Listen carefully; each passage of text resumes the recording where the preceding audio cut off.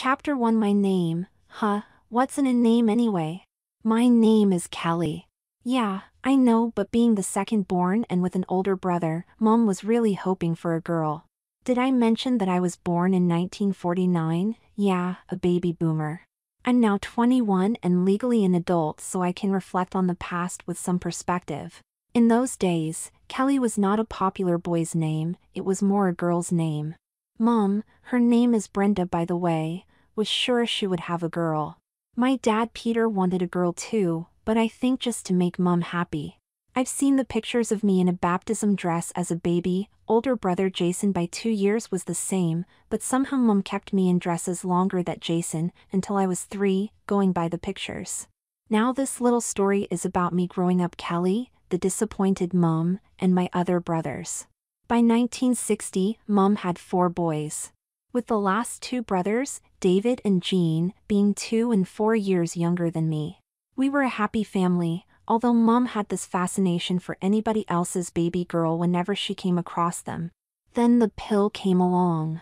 It was at that time that mom reluctantly stopped trying to have a girl, and she could decide because now life for married women became a matter of choice, not just an endless round of getting pregnant and having children. I found out much later that the other reason why she stopped was because mom and dad had a rhesus blood incompatibility and each successive child had a more severe reaction in utero and jaundice after birth. By the time Jean was born, the rhesus factor was so bad that he nearly died. I think it was when I was about 12, 1961, that things started getting seriously weird and awkward for me. This is where my life changed tracks so I will go into more detail, as much as my memory will allow. I will try and reconstruct the events and conversations as I remember them. Some are still so vivid today because of the sudden changes in my life, but some less so when things settled down. I was more sensitive to mom and dad than the other boys, who were pretty much rough and tumble. Don't get me wrong, I was too, but maybe I just wanted to please and help where I could. The other boys were too self-absorbed to notice when Mom was tired or sad, and I could see that her sadness was becoming more and more deep and longer lasting. We had just finished a beautiful rabbit stew that Mom made. Rabbits were in plentiful supply in those days and were considered a poor man's food, not like today. Jason, David and Jean all ran off to continue playing in the backyard, a game of war that had been interrupted by dinner while Dad went back to his study. Dad was only 21 when the war started and had worked at a factory before the war. Now with a growing family, he was doing night school to become an accountant and earn more money. On weekends, we hardly saw him during the day, he would emerge from his study in time for lunch or dinner. I saw Mum stay seated after lunch, she was smiling wearily as the boys ran off, but I looked at her and asked, Mum you look so tired, why don't I help with the dishes and you have a rest? Mom lightened up, her expression going from puzzled to smiling and she nodded happily. Thank you my darling boy, that would be wonderful. You boys do tire me out so and I could use some help now and again. That's okay mom, I replied, I'm happy to help out. I rose from the table and started to clear the table of dirty plates. Wait dear, but you should put on my apron to protect your clothes, go get it for me and I'll put it on you. My good feeling was a little dampened by the prospect of putting on the apron, after all, boys didn't wear aprons in those days, especially Mum's pretty apron with the prints of girls in different dresses on it. Dad occasionally wore his barbecue apron, but that was a manly black color with the words meat, heat 'em and eat 'em emblazoned on it with a drawing of flames along the bottom. Mom's apron had a sort of movie look to it. She got up out of her seat as I returned with the apron, she took it and turned me around, and lowered the loop over my head as the apron appeared in front of me, she then tied it at the back and spun me around. Now you won't get your clothes all dirty and thank you my darling one, I can use a little rest. I turned and picked up the plates, rinsed them off in the sink and put them aside. I returned to the table under Mum's watchful gaze, she looked wistful but smiling as I picked up the casserole dish, returned to the sink and rinsed it as well. I washed and dried the dishes then put them away. It was enough time for Mum to rest and by the time I finished, Mum was up and she untied the apron. She kissed me on the cheek and gave me a hug. Thank you for being such a nice considerate boy. I blushed and ran outside happy that I made mum happy, happy that my brothers didn't come in and see me in the apron and happy that I could run outside and join my brothers in the war game, fighting off the Germans who were just behind the rose bushes. When we stopped playing about an hour later, I was ready for a drink and went inside, happy to reflect that I had done a good deed and that mum was happy with me. Hello Kelly, thirsty are you? mum asked. I'll get you a lemonade. Lemonade! That was a treat in those days, we could only really expect water or cordial usually. Mom got out a big glass and filled it with orange lemonade. The other boys rushed in, seeing the lemonade and asked for some too. Mom embarrassed me a bit when she said, No this is just especially for Kelly because he stayed behind after lunch and helped me in the kitchen. You can have water. They all grumbled and looked at my lemonade, little Jean said, not fair. Mom replied. Well, when you learn to help around the house, you can have some lemonade too. Truly, that is all I remember from that episode, but I'm sure that from that inauspicious moment, my life took me in a different direction. I started helping Mom with cleaning and packing away the dishes every night. At the end of the week, I was given a whole dollar from Dad. Here, son, you were a great help to your mother this week, so I'm giving you a reward of pocket money for every week you help. Wow. A whole dollar was a lot in those days. A fortune for a 12 year old boy. My brothers were jealous and soon they were all lining up for jobs to help around the house. Jason got to mow the lawns and water the flower beds on hot days. David, who was 10 at the time, got to put out the rubbish and Jean got to collect the paper from the front yard and letters from the mailbox. I got to help Mom in the kitchen. It was the very next week that I saw a clothes catalog lying on the lounge room table, near where Mum mended our clothes. Next to it was a design book for aprons. It got me curious because Mum told me during the week that she would have to buy me my own apron. Curious to see what was in there, and especially the marked pages, I saw a whole variety of aprons modeled by girls my age and older. Of course, there were no boys illustrated in there, it was a time where gender roles were pretty much laid out for you. I flipped through the catalog until I got to the marked page and saw a plain blue apron with no frills or gathered skirt to make it flare, just something plain. I was happy with that. I flipped through the clothes catalog pages where there were other clothes shown. Petticoats and slips to be precise. Oh my, I was only 12 but there was this really pretty girl with tight blonde curls modeling the pinkest, frilliest petticoat and matching camisole. I fell in love with her, she was beautiful but I couldn't stop looking at her in the petticoat. That may have been my first glimmer of sexual awakening. Ahem, I hear from behind as I jumped a million miles. You like the petticoats do you darling? Mum said with a smile. I, I, ah, I mumbled, I thought that I recognized the girl. She looks like a girl at school, I lied. Oh yes. Mom gave me a skeptical look.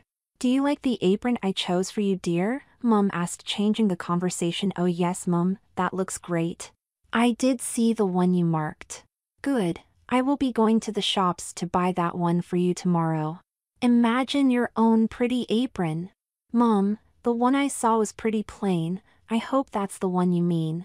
Mum opened the catalog and turned to the marked page, it was the one I had seen, I just now noticed the little ruffles on the shoulder straps and on the front pocket though. Well it is the plainest one available. Comes in white, pale blue and pale red. Which color would you like? Pale red? Mom asked. I looked at the pale red, it looked suspiciously like pink to me. I like the blue one Mum. Okay, I'll get that one. Later that day, I noticed as I passed the lounge room that the catalog had gone. I assumed that Mum had taken it to show the sales lady which apron she wanted to buy. I thought no more of the apron but I did want to stare at that pretty girl again so I hope that the catalog will make another appearance. That night as I reached for my pajamas under the pillow, I noticed there was something else there. To my surprise, it was the clothes catalog with the page open to the petticoat girl. Now I had to share a room with my older brother Jason so I realized that I would be so embarrassed if he saw me looking at that catalog. I had a lingering look at the picture of the girl in that wonderful petticoat, somehow I was mixing up my feelings for the girl and the petticoat she was wearing. I put the catalog under the mattress to hide it better, suddenly realizing that Mum must have put it there. What did she think about catching me staring at the picture, I wondered. The next day, Jason, David and Jean were all getting ready to head out after breakfast to explore the creek behind our house. I intended to go out as well when Mum asked me, Kelly, could you please help me with the dishes and with a few other things? She had a little smile and what I thought a look of anticipation. I reluctantly agreed and told my brothers I would join them later. By now they were used to me helping mom and didn't really think more of it. I bought you that apron Kelly, I'd like you to try it on, she said. She turned to the pantry door where she kept hers and retrieved a pink apron with two frill-lined pockets at the front. I was horrified. Mom, that's not what I saw in the catalog, and it's pink. No darling it's not the same apron, they ran out of stock, but they had these ones, and it's not pink, it's pale red, she said, seemingly satisfied with her logic. Here, turn around and let me put it on you. Reluctantly, I turned around and let her put the head loop with bib over my head then wrap the apron skirt around me. It fell to just below my knees and definitely covered my shorts. When mum tied it on, the apron wrapped right around so it looked like I was wearing a pink skirt. Turn around, I want to see what it looks like on you. Oh, you look so precious, dear. I reluctantly turned around from Mum, catching a glimpse of an expression that looked a bit like a cross between desperate yearning, calculation, and excitement. It made me feel uncomfortable and gave me a fluttery feeling in my stomach. I looked down to see what looked like a skirt with a bib. I was so worried anyone would see me in it so I thought I'd quickly complete my chores and take the darn thing off. I didn't reply to Mom, just turned around and cleaned the dishes and put them away. Just as I was about to take off the apron, all my brothers ran in looking for a drink. It was like one of those cartoon shows where the first character suddenly stops and the rest just keep piling in behind him. That's what happened with Jason stopping suddenly with David and Jean crashing in behind. Well, don't you look cute, Kelly? I bet you'd also look good in that petticoat you keep staring at in that catalog you hide under your bed. Jason said with a laugh. David and Jean were younger so they just laughed and called me a wannabe girly. I turned deep red and was about to flee when Mum said, Now listen up boys, Kelly didn't choose this color apron, they were all out of the blue ones, so don't tease him. I need his help and I don't want you boys discouraging him, understand? The boys, heads hanging with shame, real or imagined, dumbly nodded agreement. Yes, Mum, they said in unison. They went and got their drinks quickly and were soon outside again. Mum caught and stopped me struggling to get the darned apron off. Now don't be hasty, Kelly. The best way to stop them teasing is to act as if you don't care. Keep it on for now, and that will show that you're not in the slightest caring of what they said. Aw, do I have to, Mum? I replied. Yes, you do, and you'll see that I'm right, Mum encouraged, smiling at me and with her fussing about the apron, straightening it here and there. So I stopped trying to get the apron off. Now what's this about your liking slips and petticoats? Do you like them? Are they what I saw you looking at the other day? Mom, you must have put that under my pillow so you know I've seen it. I just can't help looking at that girl, I think she's so pretty. And I'm not looking at the petticoat. I answered, annoyed she would think something like that and equally annoyed that Jason had seen me looking at that catalog. Well, bring me that catalog anyway. It must have landed under your pillow as I was making your bed. I was wondering where it had gotten to. And no, I didn't put it there deliberately, Kelly. My, what an imagination. So I went to my room, now really aware of the apron I was wearing and retrieved the catalog. When I gave it back to Mum, she said that she was thinking of buying some slips and petticoats for our cousin Kellyanne and she would like my opinion. There are some really cute poodle skirts that Kellyanne has but she needs the proper underthings. Sit here with me Kelly and let's go through the catalog, Mum said patting a place on the sofa next to her. As I was sitting, she stopped me in a half-sitting position. Tuck that apron under you dear, otherwise it will wrinkle and be hard to iron later. Puzzled, I looked down, noticing how the apron wrapped right around me and I would be sitting on it. I slid my hands under me as I sat, feeling vaguely that this is what women and girls did when wearing a skirt or dress. I looked at my lap, It looked like I was wearing a pink skirt with frill-edged front pockets, my bare knees showing through, but not my shorts. And now I was going to pick out petticoats with Mum? Mum wrapped her arm around my shoulders and gave me a hug, her voice and tone showing how excited she was. You know, with a family of all boys, I haven't had the opportunity for these sort of discussions I would have had with a daughter. I have missed that. Do you mind doing that with me, Kelly? she asked. I don't mind, Mum, let's just choose a few things for Kellyanne, I said then added in thought, before anyone sees me. Mum opened the page to the start of the catalog which started with what Mum called half slips. Aren't these petticoats pretty, Kelly? These are worn when you wear skirts while slips are worn when you are wearing your dresses, they stop your dresses from bunching up. Mum stop right there, I don't have and don't want any skirts or dresses so please don't say that I have, it's embarrassing, I objected. It's just a figure of speech dear, Mom insisted. Before we do that though, I know that you and Kellyanne are about the same size as I remember when you two were last together so I'd like to use your measurements to know what sizes to order. Just go to your room and undress to your panties. I mean undies.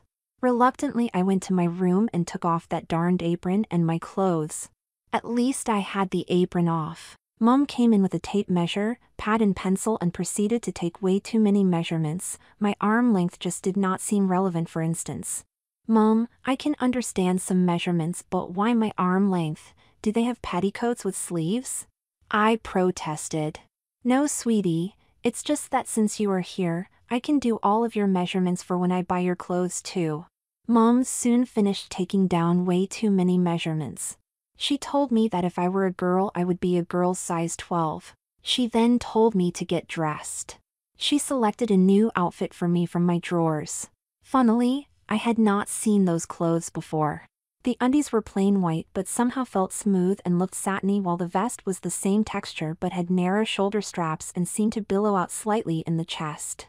The t-shirt also seemed strange yet familiar, a pale blue cotton but the sleeves seemed shorter and bunched at the shoulder. My shorts were made of a light tan, almost silky cloth. It had an extra small zip in the front and wide in the leg and cuffs at the bottom and there weren't any pockets. Now let's continue selecting slips and petticoats for Kellyanne. We went to the lounge room where we had left the catalog. Sitting on the couch again, Mom with her arm around my shoulder, we began flipping through the catalog again. We will only select those that are available in size 12, so pay attention. I must have sat there for an hour looking at girls' lingerie, I was so embarrassed when Dad came through to go to the kitchen for a snack. Mom had just embarrassed me when she said that I would look cute in a particularly lacy petticoat. I had gently nudged Mom saying stop teasing Mom. She replied by tickling me just as Dad walked through. You look like you're having fun Kelly Dad said. I immediately turned red, embarrassed that it looked like I was enjoying looking at lingerie catalogs with Mom while dressed in the girlish-looking t-shirts and shorts. Mom, bless her heart, made it worse when she replied, Kelly and I were just picking out a present for Kellyanne, maybe you could give your opinion too. Dad blushed and retorted, no thanks, I'll leave it to you ladies. He blushed himself, mumbled something and walked through and into the kitchen. My, my, your dad called you a lady. Well, looking at you like that, I suppose it does look like you have girlish clothes on, I thought they were more unisex. You could change if you like Kelly. Although if you'd like to keep it on. Yeah, I'd like to change mum, I said incredibly confused whether dad meant what he said and then mum about what she said. Later that day, when I had finally escaped from those clothes and dad had been watching us boys play in the yard, he called me over. Sorry son for what I said earlier, you did look embarrassed, but you also looked like you were enjoying being with mom, and dressed like that. I know you were uncomfortable but I want you to know that your mom has been depressed for a long time that she hasn't had a daughter to interact with, like I get to with you boys. But her spirits have really lifted since you offered to help her out. Please keep up the good work and do what she wants. It is really important for her and for me, okay Kelly? I suppose so dad, but it is getting a little embarrassing now that she's bought me that pink apron. And when you came in, she had me looking through a lingerie catalog for petticoats for Kellyanne dad, then she tickled me as you were going past, it looked like I was actually enjoying it. You're right son, it did look that way. Thank you for telling me what was happening.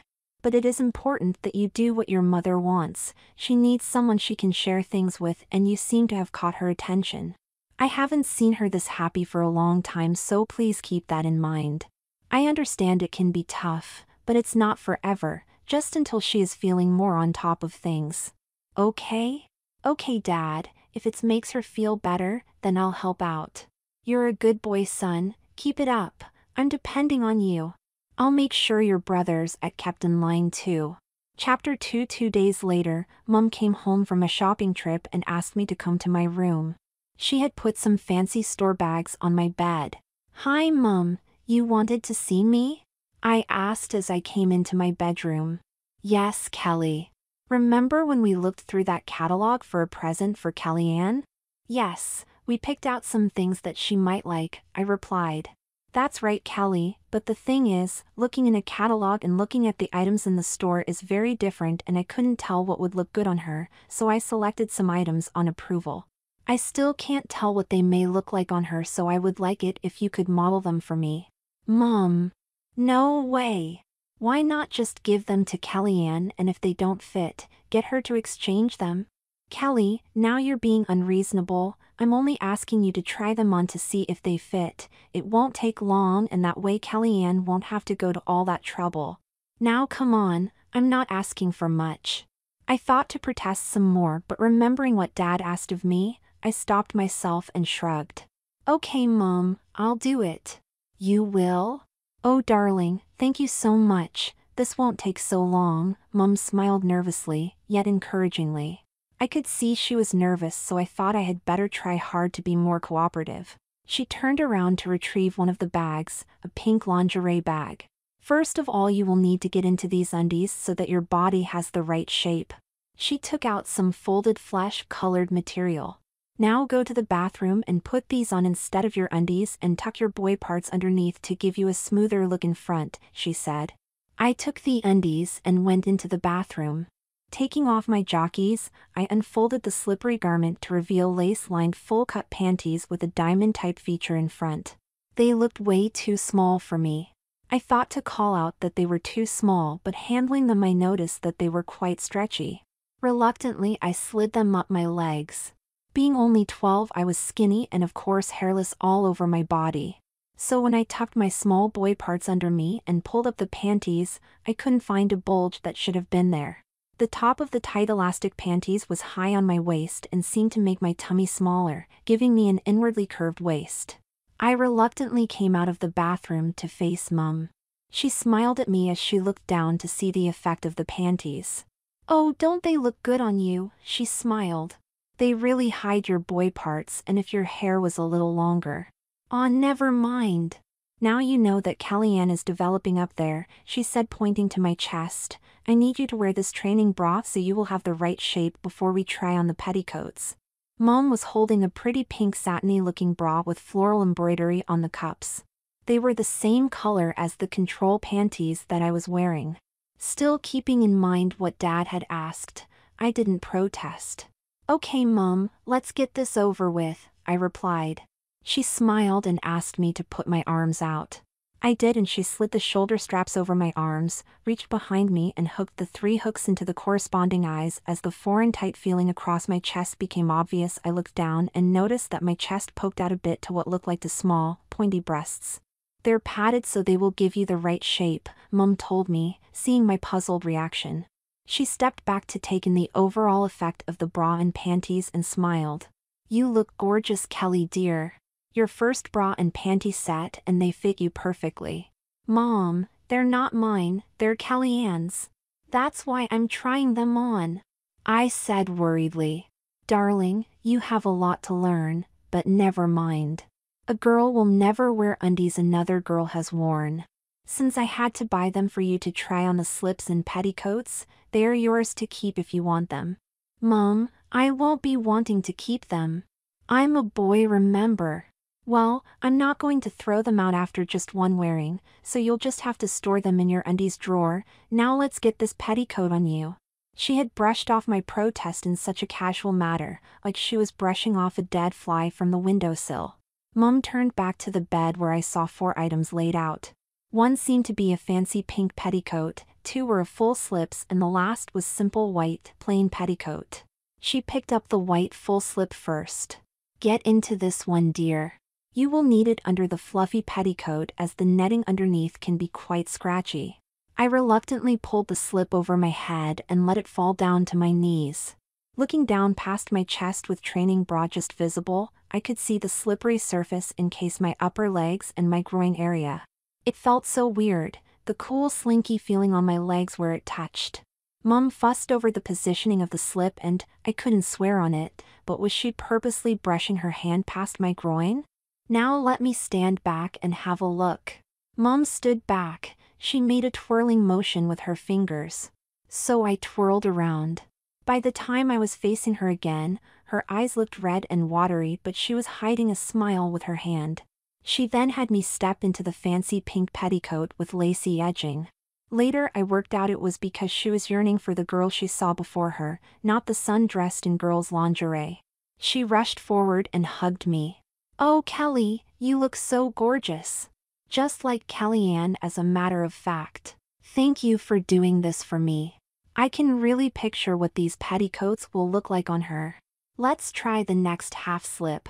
Glad to at least have the first outfit modeling finished, I took off the petticoat and slip and picked up a plainer white slip.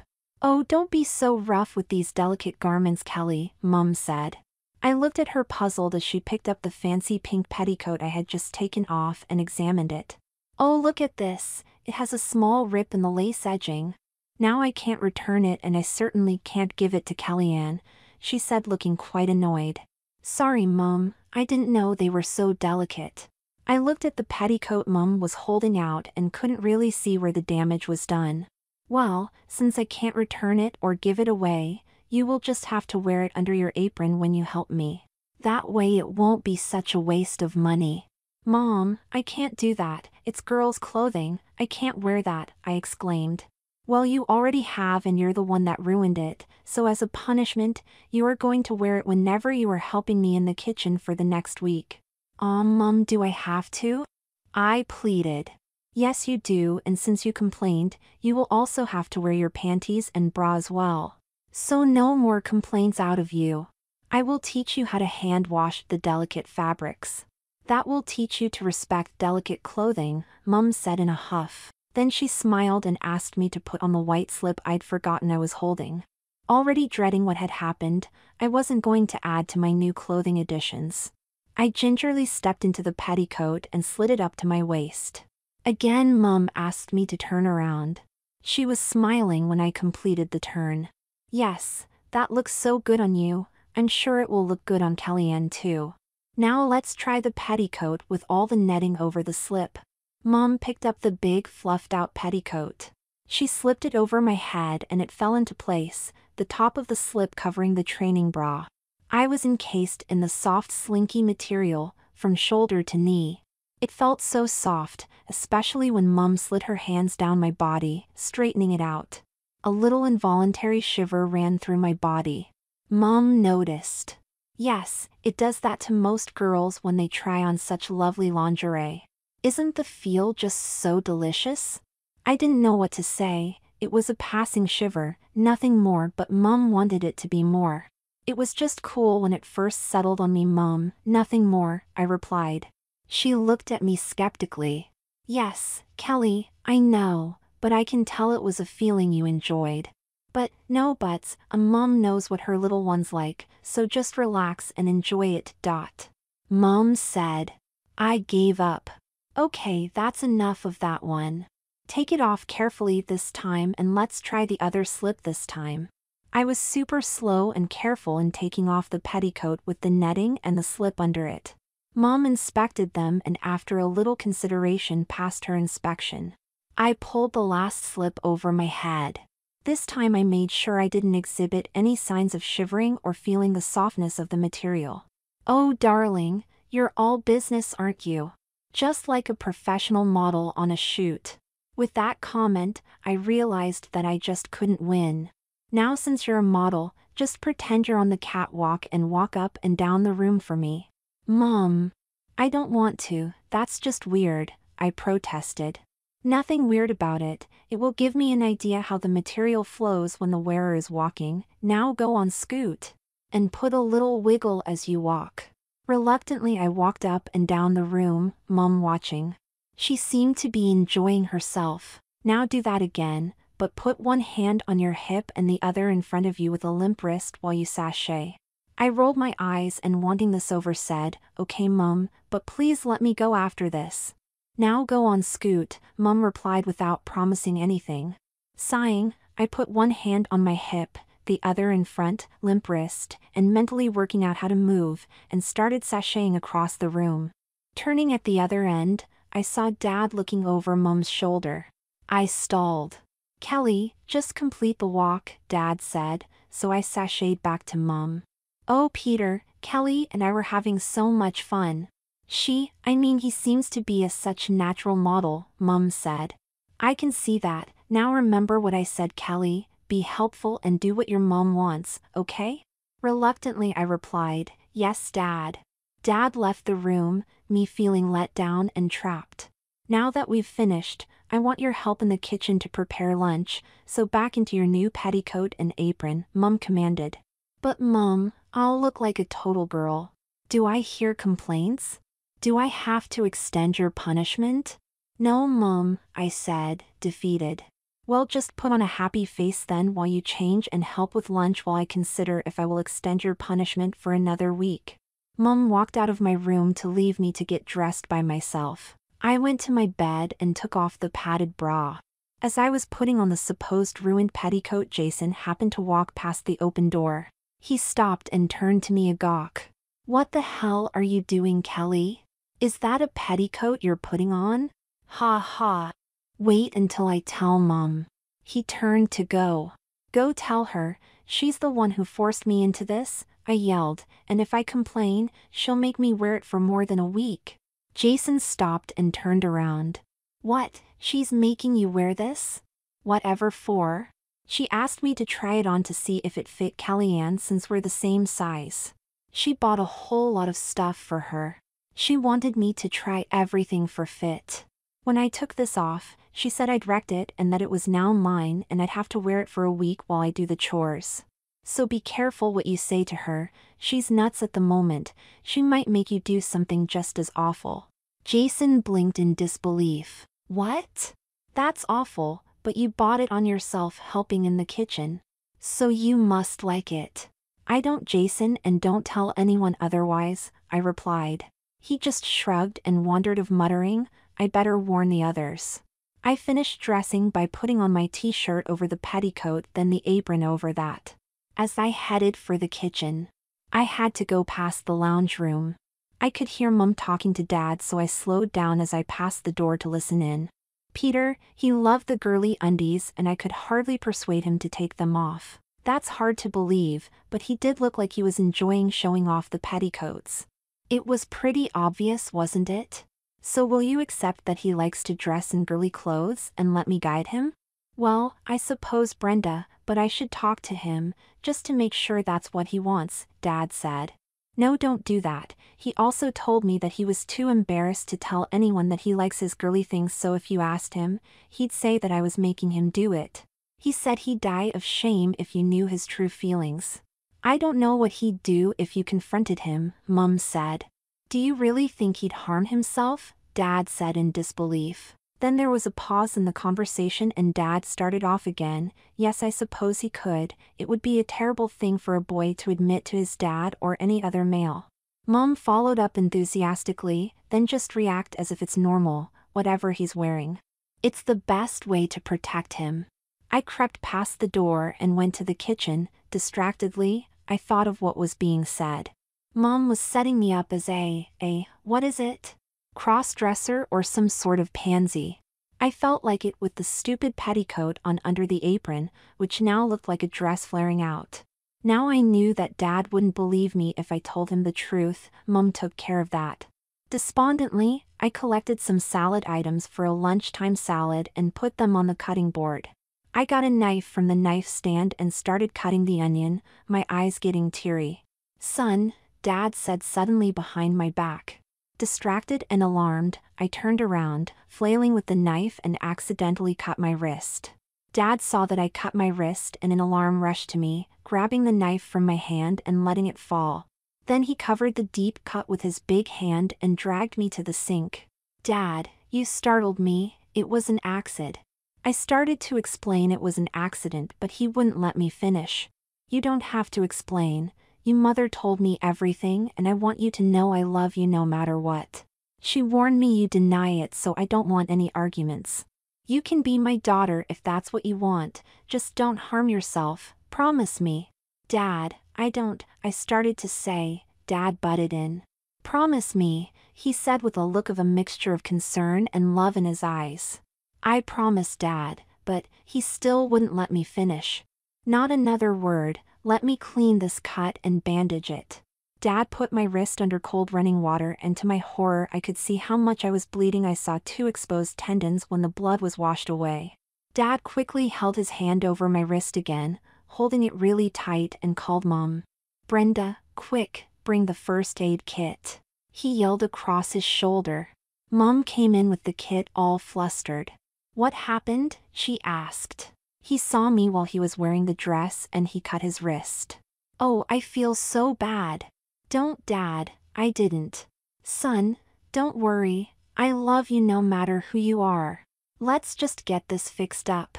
He took a big roll of gauze from the first aid kit and wrapped up my wrist really tight. I couldn't get a protest in and set him straight, he'd swallowed Mum's story hook, line, and sinker. Well, off to the hospital, Dad said. But, Dad, can't I change, look what I'm wearing. He looked surprised, paused until Mum caught his eye, then I could see he changed what he was going to say. Well, the apron will protect your clothes and we don't have time.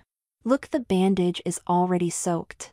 I was hustled to the car and into the back seat, Mum followed, getting in the back seat with me while yelling to the other boys to stay home and not to wander off. Dad put his foot on the accelerator and off we went. I hardly had time to collect my thoughts, stupidly staring at the stupid apron and the lace-lined petticoat showing underneath. Mom was holding my wrist away from the clothing so it wouldn't get bloodied. What had just happened I was wondering, how did I end up cutting my wrist? I didn't mean to, yet here I was with the pain just suddenly making itself obvious. I went pale and clammy. Mom let me rest my head on her shoulder. She began to stroke my hair saying, There, there darling girl, we'll get you there soon, you'll be all right. That's all I remember until I realized I was lying down and I could hear whispers close by. We'll look after him, don't worry. Said a soft female voice, he'll have to stay in overnight and we will need to have him evaluated. I am the hospital psychologist. It's standard for suicide attempts. But Dr. Smythe, I don't think he meant it, it seemed like he was startled when I called him, I heard Dad say. That doesn't sound logical, you walked in and he was wearing a lacy petticoat and apron. It sounds like he was confused and desperate and faced with the reality that his true nature was discovered by you his father, his subconscious took over and he cut himself rather than admit he wanted to be a girl. I opened my eyes, seeing Dad and the psychologist talking near me. But what disturbed me more was Mum, she had her head turned slightly away from me and she was smiling. I let out a groan, thinking what a mess I was in, falling right into her daughter-loving trap. The doctor saw me open my eyes and groan. Hi, I see you're awake Kelly. I'm Dr. Smythe. I'll be your supervising doctor. You fainted from shock. You're in hospital and will need to stay in overnight for observation. When you're feeling up to it, I'll need to talk to you about what happened before you go home. Just relax, dear. She turned to a dial attached to a tube coming out of my arm and I drifted off to sleep as I heard her say, She'll be fine, we'll let her get some rest. Chapter 3 Bang, clatter, bang. Noises of a bed being moved out of the ward woke me up. I looked around, it was a children's mixed gender ward, three girls and two boys in beds and I wasn't sure who was being wheeled away as the bed disappeared out the door. Hi, glad to see you awake Kelly, a red-headed nurse was saying to me while looking at my chart. I see you had a little accident with a knife darling, she said as she put down the chart and came over to me. Let me see the dressing, hold out your arm. She looked at the dressing and gently touched the top of the dressing. Is that tender dear? she asked. A little, it stings. Well, that's what is expected when you cut yourself. I see by the chart that you had some stitches put in last night. She looked into my eyes and smiled. I was lost in her smile and didn't notice that she had her hand out with two tablets. This is your medication so be good and take these. I took the tablets and the cup or water, swallowed the tablets and water. Bye for now sweetie, she said as she went to the next bed. I saw her go to the next bed, it was one of the boys. It was the same routine, check the chart, offer two tablets. What surprised me was that the boy clamped his mouth shut and refused to take them. No, I won't. I know what you're doing and I won't take those. I don't want to be a girl like the others in this ward. I heard the nurse reply, half glancing in my direction. Now don't talk such nonsense, Jimmy. No one is turning you into a girl, she said just loud enough for me to hear. She continued talking softly to Jimmy, but I could tell she was being forceful. Eventually, he let out a sob and took the tablets. The nurse turned to me with a forced smile. He's a little delusional after his recent fever, don't pay any attention to what he says Kelly. She turned and left the ward. I looked at Jimmy, his unusually long hair for a boy falling across his eyes and the light pink hospital gown didn't seem too out of place. What gives with the tablets? I asked. He turned a little toward me then sulkily looked away. I can't say or they'll keep me in here longer. Just mind your own business if you know what's good for you. I was puzzled by the whole thing but reflecting on my own situation, remembering Mum's smile last night and how I was dressed when I arrived, I started to worry. Please you've got to tell me, Mum is acting weird, making me dress in petticoats and aprons. That was what I was wearing when I arrived. Please tell me, I don't want to be a girl either. Jimmy turned to me and mouthed, talk later, quiet now. I nodded and was left with my own thoughts and mounting disquiet. The ward clock was at 10 o'clock when Dr. Smythe came to my bed with a warm friendly smile. Now, how's our Kelly doing? she asked as she pulled the curtains around the bed closed. She sat in the chair beside the bed, her tight skirt sliding up her stocking-covered legs. I could see the outline of a lacy pink bra under her thin silky blouse. It caught my eye as it would for any boy. I'm fine thanks doctor. You know I didn't try to cut myself, it was an accident, I added, desperate to clear the air. I'm sure that's how you see it, but what about your subconscious? That's what I'd like to explore. You came in wearing pretty apron and a gorgeous pink petticoat. Could you explain that? How does it feel to wear pretty things? I wore those things because Mum asked me to try on some petticoats for size. She'd bought them for my cousin Kellyanne. We're the same size. And the apron I had to wear because I was helping her prepare lunch. That's when the accident happened. So you didn't want to change out of the petticoat when helping to prepare for lunch? Seems you really liked wearing nice feminine things. No, no that's not right, I ripped the petticoat while in a hurry to get it off so mum told me I had to wear it for a week as punishment. Oh I see, you ripped it while getting it off. Your petticoat is here in the side drawer, could you show me the rip? I thought I'd be in trouble now, I actually never saw any damage in the petticoat. I leaned over to the side table, opened the drawer and took out the petticoat. Somehow the bandage and apron seemed to have protected it from my bleeding. I looked and looked and couldn't find any damage. The doctor took the petticoat off me and inspected it. It looks perfect to me. It seems you have created a scenario in your mind to justify wearing it more often. Then you were confronted with the reality of the situation when your dad walked in and saw you wearing it. You were shocked back to reality. In desperation, you tried to end it rather than admit your true feelings. No, that's not it at all, I replied. But there's no rip, so something doesn't add up.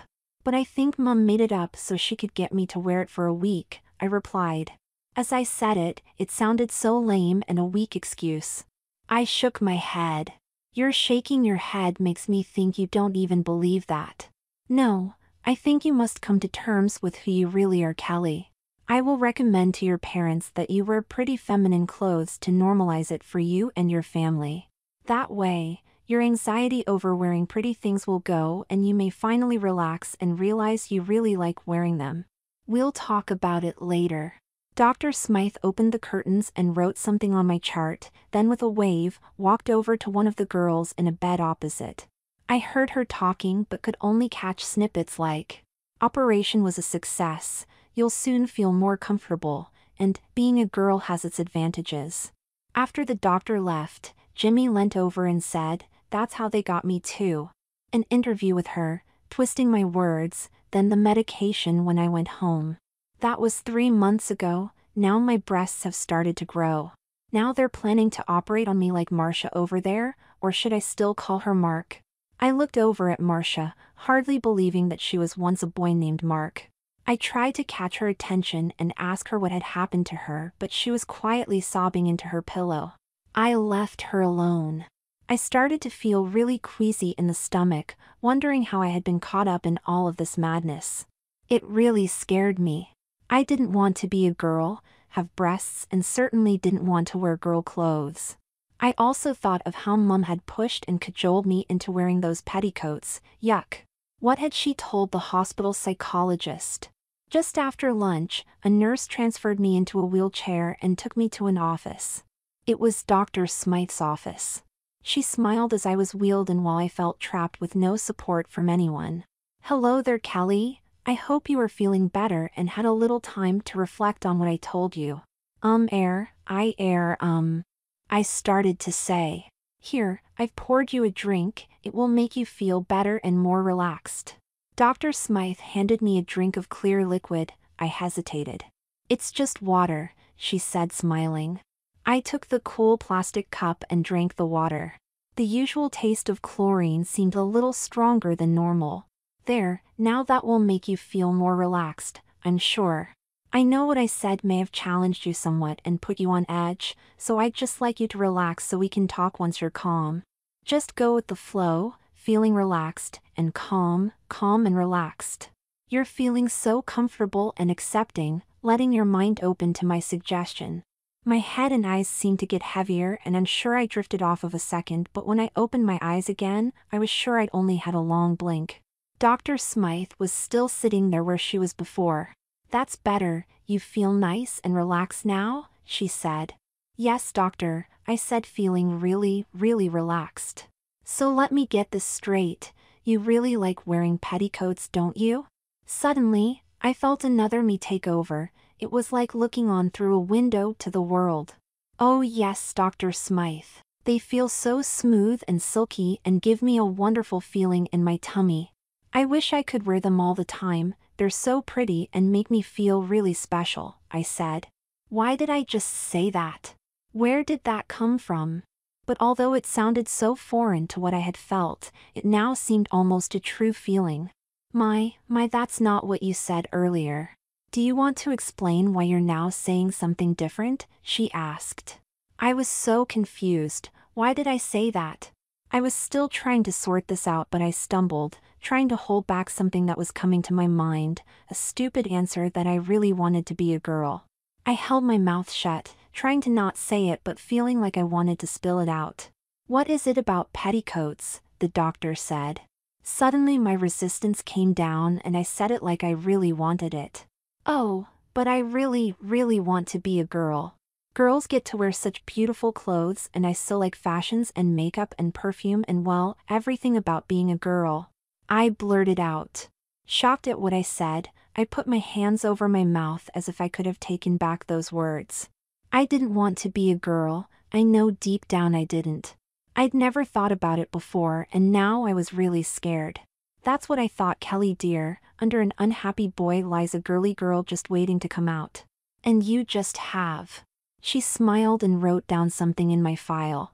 But I didn't mean it, it just came out, I don't know what just happened, it's not how I feel, really it isn't. Now remember what I said about the subconscious, it's what you really want, deep down, even if your conscious mind doesn't fully accept it now. But I, I started. Dr. Smythe held up her hand to stop me. Now tell me again what you feel about the petticoat you were wearing. At the mention of petticoats, I suddenly felt associated again and out of no conscious thought I said, Oh, I just love to wear them, they make me feel so pretty and special, I wish I was a girl so I could wear them all the time. As I was saying it, I could feel those emotions rise in me but somehow were still foreign to me. So there you are, you love to wear them and you want to be a girl. That's why you were so conflicted when your daddy saw you wearing your pretty petticoats. When she said petticoats, I had this sudden feeling of wanting to wear them again and a feeling of wanting to be a girl. I just nodded. So petticoats are your favorite things to wear and you want to wear them all the time, Dr. Smythe reinforced. Oh yes, I said and this time I felt it was true. Then while she was writing in the file, I began to have my doubts. Thank you for being so open and honest with me, Kelly. That will be all. I'll contact your family, you can go home tomorrow. The orderly came in and wheeled me back to the ward. I thought of petticoats and the one in the bedside table. Suddenly I felt an attraction to it. It seemed to be the prettiest thing in the world. I wished I could wear it. No, no wait, no I didn't that was a stupid thought. I was surprised that dinner was waiting for me back at my bed. But I hadn't been gone four hours had I? It seemed like it was only half an hour. Puzzled I climbed out of the wheelchair and back into the bed. Ow! Why was my behind so sore? I felt a little lump where it was sore. I didn't remember a lump there before. How did that happen? The orderly helped me get settled. He said, Thank goodness you're not wearing your petticoat, it will be safe from food spills. When the orderly said petticoat, suddenly I seemed to want to wear it. It is so pretty. No, no, what did I just think? I glanced sideways at the drawer where the pretty petticoat lay, yearning. Then, with some willpower, dragged my gaze back to the food. The orderly had a curious look on his face, then turned and left. With determined concentration, I looked at my food and started picking at it, trying to forget about petticoats. I wondered what was happening to me here, I'd never thought this way before and even at home with just mum, trying on those petticoats for size, I never had the slightest attraction for them before. I heard a whisper. Kelly, Kelly, how are you feeling? You were gone for hours, Jimmy was saying. Yeah I know, but it only felt like half an hour at most, I relied. I think she put you under and hypnotized you. I'm sure that's what happened to me and a few others in here. I think she does it so she can plant the idea in your head that you want to be a girl. Did you feel different when you came out? Yes, it's strange I've been saying things and lately feeling things I never said or felt before. Like when she asked me about wearing petticoats, I felt a sudden urge to get the petticoat out of the drawer and feel it. It's when anyone says that word I just said, beginning with P I just WW want to wear one and be a GG girl. Oh no, she's hypnotized me. What can I do? I asked. Listen to me, I've fought the same thing. It can be done, especially now that you're aware of it. It took me longer to realize and by that stage it was almost too late to fight it. The word she gave me as a trigger before I was released from here three months ago was panties. When I heard that word, I just couldn't help but think about them, think about wearing them and about wanting to be a girl. Of course mum didn't help. I think she found out about this place and sent me here on some phony medical scare. My mum has been acting to encourage me into girly clothes for a while too. Could it be this place provides a service for women who want to turn their sons into daughters? I asked. Shoo, they'll hurt you. Yes, that's what I think this place is. But what I want to tell you is that you can fight the hypnotic suggestions. For me, I tried to desensitize myself to the keyword. I got myself in a quiet room, usually the bedroom, and while concentrating really hard, thought of panties, said the word and listened to my thoughts and feelings, fighting it every time I wanted them and what goes with it. It might be your only chance, Jimmy whispered. Just then a bed was wheeled into the ward entrance. The patient had returned. She had long blonde hair and was asleep. Jimmy whispered as the orderlies left, that was Bob. I think she's now Betty. Then Jimmy lay back on the pillow, lost in his own thoughts. I must say I did the same, hoping to get out of there before they did anything more to me. I thought about what Jimmy said. This place is turning boys into girls against their will. One visit to set things up, including giving the boys hormone treatments, then three months later they come back for the operation. Oh my! Poor Jimmy. I thought of the trigger word idea and how to fight it. I thought I'd give it a go. I lay back, closed my eyes and got ready then gently whispered petticoat. A rush of wanting to feel feminine came to me. I wanted to get that petticoat out of the drawer and feel it, to put it on. No, no, no. I don't. But I did. I tried to fight it. My hand crept towards the drawer. I slowly opened it, seeing that Jimmy was turned the other way, the drawer opened noiselessly. I felt an electric thrill when I touched it. I slowly withdrew it and slid it under the sheets and lay it across my legs. The feelings of longing kept building in me. Before long I was wearing it and, exhausted, I fell asleep. Chapter 4 Time to change the sheets Kelly, wake up dear.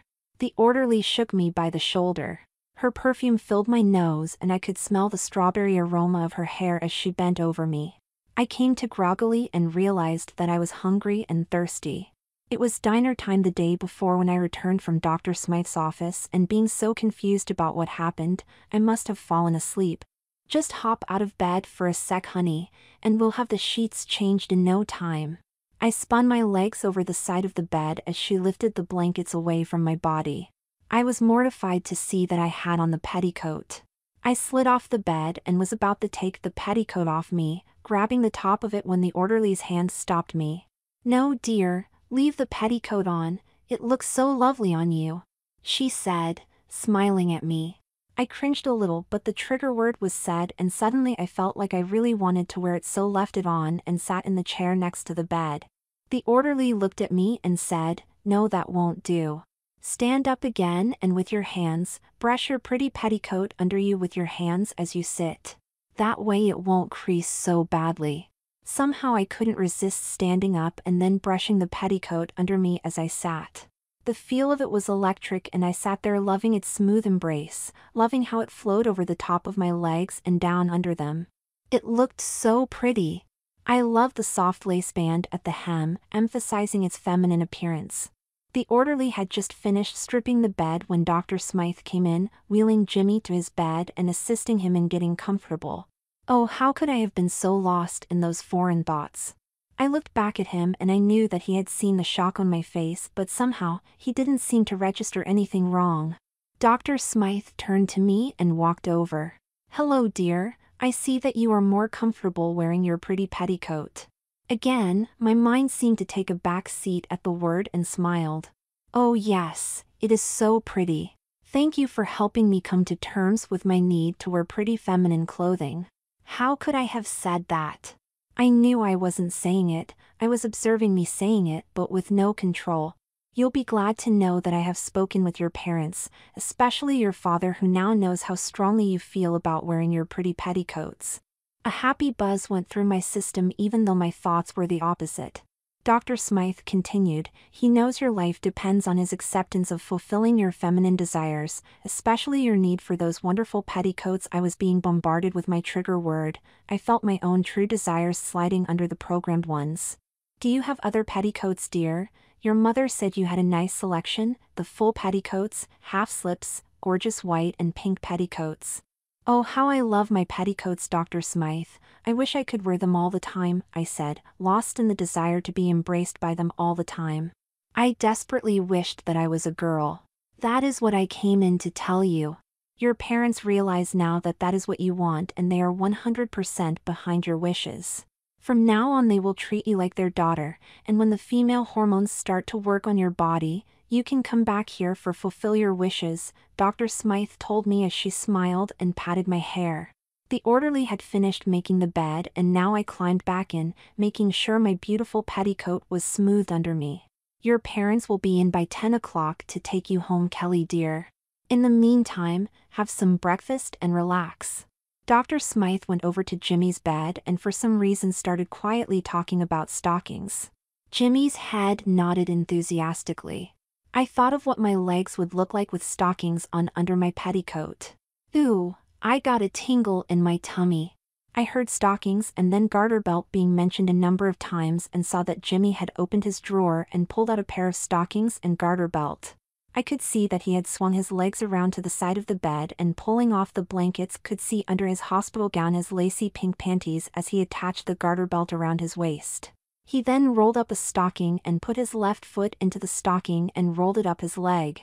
He then attached the three tabs to the stocking. Dr. Smythe was making appreciative, almost cooing sounds and giving him encouraging rub on his shoulder. Jimmy then repeated the process with the other stocking. I could just hear him saying to Dr. Smythe, they feel so smooth and satiny, they are wonderful, just like you said. Dr. Smythe moved between me and Jimmy but I could see that she was helping him smooth them out and I heard the word stocking mentioned more times. I looked down at my petticoat and felt a warm inner glow. Now Jimmy was feeling all girly too.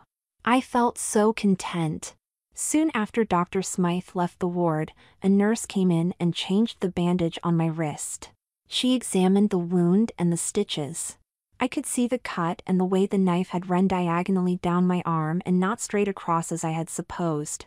The sight brought back a flashback of the incident, remembering cutting vegetables in my pretty petticoat and apron, then Daddy coming in and surprising me. I wondered why I was so surprised, then remembered having to wear the petticoat for punishment. No, that didn't seem right. I looked down at my beautiful petticoat and wondered how that could be punishment. The nurse soon finished replacing the bandage and said she would leave instructions on changing the bandage with my parents. Breakfast came and, not wanting to spoil my petticoat, covered it with my blanket. All I had was a grapefruit and two slices of toast but it seemed so much, I only had half a slice of toast with my grapefruit. I greedily swallowed my two tablets, knowing now that they will help me become the girl that I wanted to be. I saw Jimmy take his two tablets and swallow them as well. I soon dropped off to sleep. I woke to find a female orderly was pulling a tray near to me. The tray seemed to be full of the sort of things I've seen on my mother's dresser. There were spray bottles, combs, hair clips, a manicure set, nail polish and cosmetics. Hello Kelly, your parents will be here in an hour so I thought I'd make you pretty for them. I felt a little thrill that she was going to make me pretty but again, I also felt a little twinge in my stomach. The orderly trimmed my too long hair which for some reason mom had let grow rather than taking me to get cut. I ended up with a short pixie cut. Next, she sprayed my hair with a little setting lotion and put some curlers in, rolling them under a little bit. She then set me up with a portable hair dryer. It was something I'd seen before, with mom's hair, a plastic cap attached to a hose and a little blower at the other end. There was a strap attached to it that could go over your shoulder so you could carry it while walking around. While my hair was drying, she took my hands and filed my overly long nails into ovals and then applied a frosty pink nail varnish. I was feeling so lost in all the new sensations and lost in the sea of femininity surrounding me. My hair was now dry and while my nails were drying, the orderly took off the plastic cap and took out the rollers. While this was happening, I was told to hold my fingers out straight and gently wave my hands around. The orderly then got some hairspray and sprayed my hair until it felt funny and stiff. I certainly didn't like the smell of hairspray. You look so cute, sweetheart, she told me. I hope your mummy will bring you a nice dress to go with your pretty pink petticoat. There was that word again, and I so hoped that I could wear a dress home. Just one more thing. You are too young to wear a lot of makeup but I think a touch of lipstick to match your lovely new nails will be just the thing. Pucker up sweetie.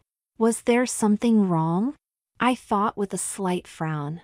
The orderly seeing my hesitation said, and it will match your darling petticoat. As if by magic, any doubt vanished and I puckered up my lips as she spread the creamy lipstick across my lips. It felt so good. There you go darling. What a beautiful girl you make, she said. I was smiling at the orderly's comment and feeling feminine as I saw Mum come through the door. She rushed to me and hugged me. Oh, my darling Kelly, my you look simply scrumptious. She pulled away and took in the whole new me. Your hair, your lips and nails. They're beautiful. We must be sure keep you like this. You look so happy darling Kelly. I smiled and thanked her for the compliment, meaning every word. I did feel good with this look. I've bought you the cutest outfit to wear home, a pretty petticoat. Oh, the petticoat is just sublime. The petticoat is white lined with lace, a beautiful cami to match the petticoat and a skirt to go over the top, Mum gushed. With each mention of petticoat, all thought of anything but being a feminine girl vanished. It was my world. Gladly I wanted to see what outfit she had bought me and gladly I put on the tummy control panties, the padded training bra, camisole and white layered petticoat with pretty lace trim. Hungrily I reached for the beautiful blue silken skirt and slid over my head and down my body until it rested on my waist. Joyously, Mum buttoned up the skirt at the back and fussed with it until it hung just right. Merrily, Mum handed me a pretty white blouse with a Peter Pan collar and three-quarter length sleeves. Just as happily I put it on, marveling that I was now 100% dressed as a girl and loving it. Mum buttoned it up in the back while I looked down at myself. I could see the outline of the bra through the blouse, the flaring blue skirt but couldn't see my feet. Mum gave me white bobby socks to put on and a pair of black Mary Jane shoes with a 2-inch heel. Sitting in the chair, I reached past my skirt and put on the blue socks matching my skirt, then the Mary Janes. Oh mummy, I'm so happy with this outfit, I love it, and hugged her. Looking over her shoulder, I saw Daddy there, looking happy but was there a little frown in his eyes. Slowly my smile faded as Mum and I ended the hug. I'm happy for you Kelly, and I'm looking forward to having many special times together, Mum replied. I'm happy for you, exclaimed Dad, you look so happy, how could I have missed noticing your true feelings? Dad looked at me with concern. I felt happy and smiled back but somehow that concern was a seed that diminished a little the euphoria I had felt. I looked at Mummy again and to see her glowing smile seemed to make any concern fade into oblivion. Come on Callie, we must get you home. You've had such a bad time we thought we'd give you a surprise, Mum said. Oh, what is Mummy? I asked. It wouldn't be a surprise if I told you, now would it? I've already said too much so let's get going. We left the hospital, me wondering why I was feeling so strange in my new skirt and blouse and my new hair and nails. Wasn't this like it should be? We walked past the emergency ward where I saw people waiting to be seen to. I looked at a boy who looked all red and flushed as he tried to keep his eyes open. What was it about being a boy that unsettled me? I wasn't sure. We reached the family sedan and I sat myself in the back seat. It was a sunny day and on the way home I heard for the first time a hit song by Sam Cooke, Twisting the Night Away on the car radio. For some reason, whenever I hear that song I'm reminded of going home, with a bandage on my wrist, fully dressed as a girl typical for the current 1962 fashions, and not knowing what to expect when I got home. I remember my skirt spread out across the back seat and that petticoat peeking out just beyond the hem. It felt so glorious. I remember my folded hands on my lap, pink painted fingernails, seeing the gleam of daylight in them and feeling the stiffness of my hair as it brushed across the nape of my neck, feeling the wonder of being totally immersed in a feminine world. Chapter 5 When I got home, Jason, David, and Jean were waiting for us. For some reason, they were smiling but not saying much as I walked in. Then as I walked past them at the front door, I heard a little snigger from nine-year-old Jean. I turned to see Jason give Jean a punch in the arm and his smile turned to a frown as he tried to hide his amusement. The reaction made me wonder what was wrong. Then I realized that I was their brother and I had come home in a pretty, girly outfit, my hair in a pageboy cut with curls and I had makeup on. Somehow the delusional fog that had built up around me had been torn away and I realized how unreal and detestable my situation was. I didn't want to be a girl and dress and act like a girl. Now I remembered Jimmy's words and how mommy, I mean mom had used my trigger word repeatedly until I couldn't think straight anymore. That little snicker brought me back to a frightening new reality.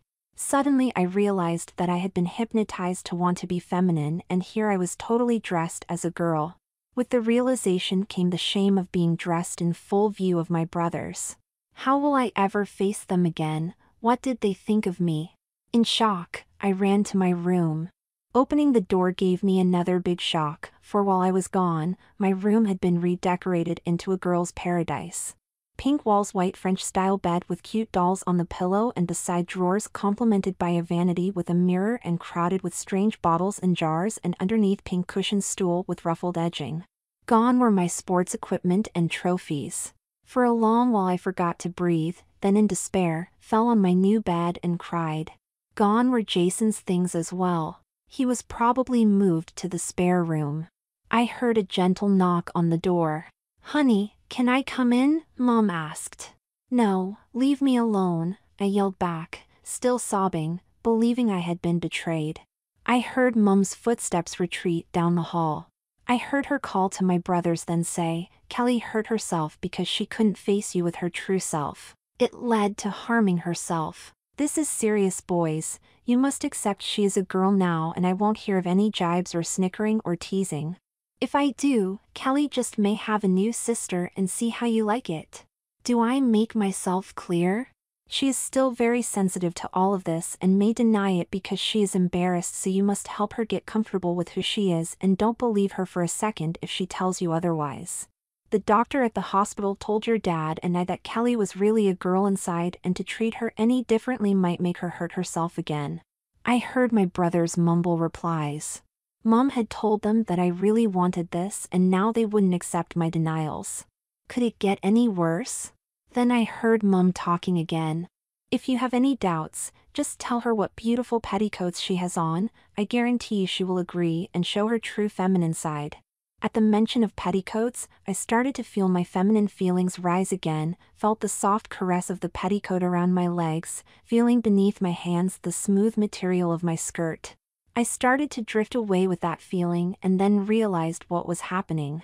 Heart pounding, I fought the feminine feelings. It wasn't right, and now if I deny everything with my brothers, they'll use my trigger word. I mustn't let them know how it affects me. I must fight my conditioning so that I don't fall any further into this feminine trap and started to sob again. How could mum do this to me? I know I didn't want to be a girl but as dad said, mum was desperate to have a girl and now she is working with the boys so that I stay that way. Why did I volunteer to help with the dishes? That, I realized, was when it all started. I must have fallen asleep as I woke up, feeling dried tears on my cheeks. I sat up on the bed, feeling like I could assess my situation now that I was emotionally spent. I also felt nausea rising in me for some reason. I tried to shake it and get on with working out what I should do. I started with looking around my new room. The two soft dolls on my bed with gingham dresses with petticoats and little straw hats were still propped up on the pillows. I was drawn to the petticoats. No, I must try to ignore petticoats.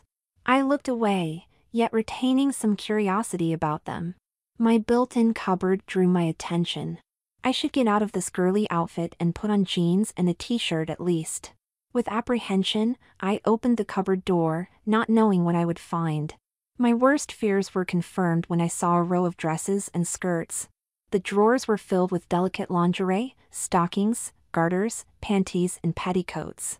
On the floor was a range of girls' shoes, mostly Mary Jane's and ballet flats. And one dressy shiny black pair with a one and a half inch heel. I went and sat on the stool at the vanity and looked at the jars and bottles. There were creams and lotions, two bottles of nail polish and a bottle of polish remover. In the side drawer there were hair ties and brushes and a box of curlers. The second drawer had a range of cosmetics.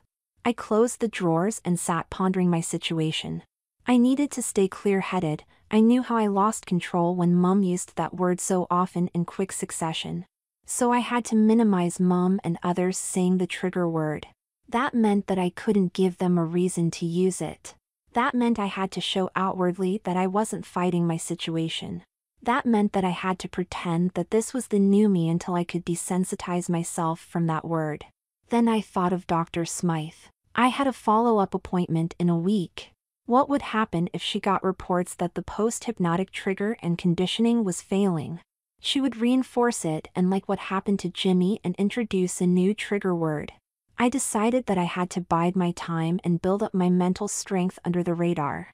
I turned to my junior encyclopedia to research hypnosis and post-hypnotic suggestions.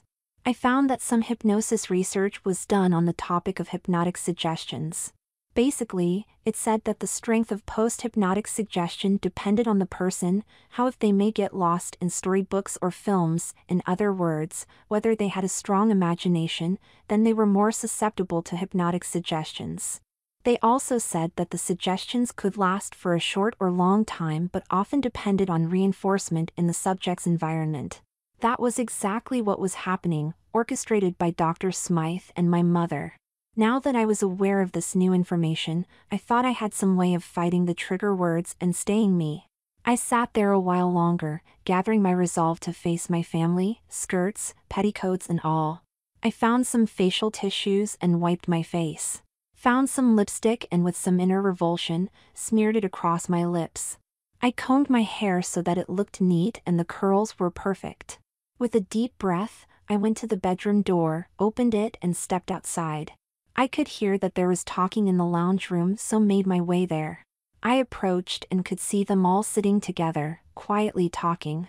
With a deep breath, I put on a little smile and walked in. Sorry for my reaction when I came in. It just felt a little funny being at home again, but I'm okay now. I hope you can forgive me. Kelly, of course we do, but there's nothing to forgive. Everyone loves you and we're here to help you through this difficult time, Mum said. Kelly, I hope you like your new room. The boys and I spent all of the last two days fixing it especially for you. Mum chose the furniture and of course your new wardrobe, Dad added. I was expected to reply and against my own real feelings, smiled and said, It's a beautiful room and the new clothes are beautiful too. You've done so much for me, thank you. Oh, I was hoping you would like them, we should go through them and you should try them on to see if they fit. I wasn't sure about the petticoat sizes, Mum joined in. Shiver, shiver, shiver, petticoats, oh. They looked beautiful, Mom. Yes, we could try everything on for size. I struggled to reply and keep myself in control with a happy face brought on by the idea of my petticoat and yet struggling at the same time to quell the warm fuzzy feeling welling up in me. Mom rose from the couch and came over to me, with a smile on her lips. Dad and the boys, although looked concerned, encouraged me with their nervous smiles. I knew then that they only had good wishes and intentions for me, especially since Mum had lectured them earlier. Mum took me by the hand and went back to my new bedroom. The door was still open and as I walked in I could see Mum's eyes light up, finally seeing such a girly room and her supposed daughter in it. Well, let's look at your lingerie, I'll put them on the bed and we can go through them one by one. Mum turned to the cupboard and lingerie drawer and took out a pile of petticoats. I just love the feel of petticoats, don't you? Mum asked. Thrum. My conscious mind reflected on the sweet embrace of the petticoats. I smiled. Yes, I do, they're lovely. I couldn't resist replying. Mum smiled and arrayed the different petticoats on the bed. I tried very hard to resist, but the thought of petticoats, seeing them there on the bed made my heart flutter. I liked the feeling and smiled. Mom saw the genuine smile. Come on Kelly, off with the gorgeous petticoat you have on now and let's start trying on these lovely creations. I unbuttoned my blouse and shrugged it off, unzipped my skirt and stepped out of it. I bent down, picked up the hem of my petticoat. Suddenly I felt self-conscious in front of Mom. She was ready to help me put on the pink full petticoat with lace trim at the hem and bodice. Holding it out for me she said, This petticoat is so beautiful, let's get it on you now. She lowered it over my head and let it slip down my body, to fall just above my knees. Mum smoothed it out, sliding her hands down the sides of my body. She stepped back to look at it. Yes, that petticoat fits you well, she observed with a serious and careful eye, and so pretty too. I let the feeling of happiness wash over me, feeling the smooth material against my skin. I smiled and replied, let's try on the next one. While loving the feeling, I knew deep down that I had reserved a special place for my resistance to those feelings and kept hidden the horror any boy would feel being made to wear such feminine garments. I kept up the charade until all my new petticoats were modeled for a smiling mother. The charade however was becoming less so with every new petticoat and every new comment of praise. It was mentally exhausting and after the last one, I begged off saying that it had been a tiring day and I would like to get some rest. Mum relented but not before showing me my new nightie, she mentioned how it looked and felt like my new petticoats and that I would just love wearing it. Mum's comment that it was like a petticoat focused my attention to the nightie. I put it on, feeling the soft satiny material flow down my body. Mom had left for a minute but was soon back with two tablets and a glass of water. Take these, doctor's orders, she said. Lost in the feel of the nightie, I mechanically took the two tablets and drank the water. I suddenly felt a little disorientated and nearly stumbled. Mum seemed to expect it and steadied me by holding onto my upper arm.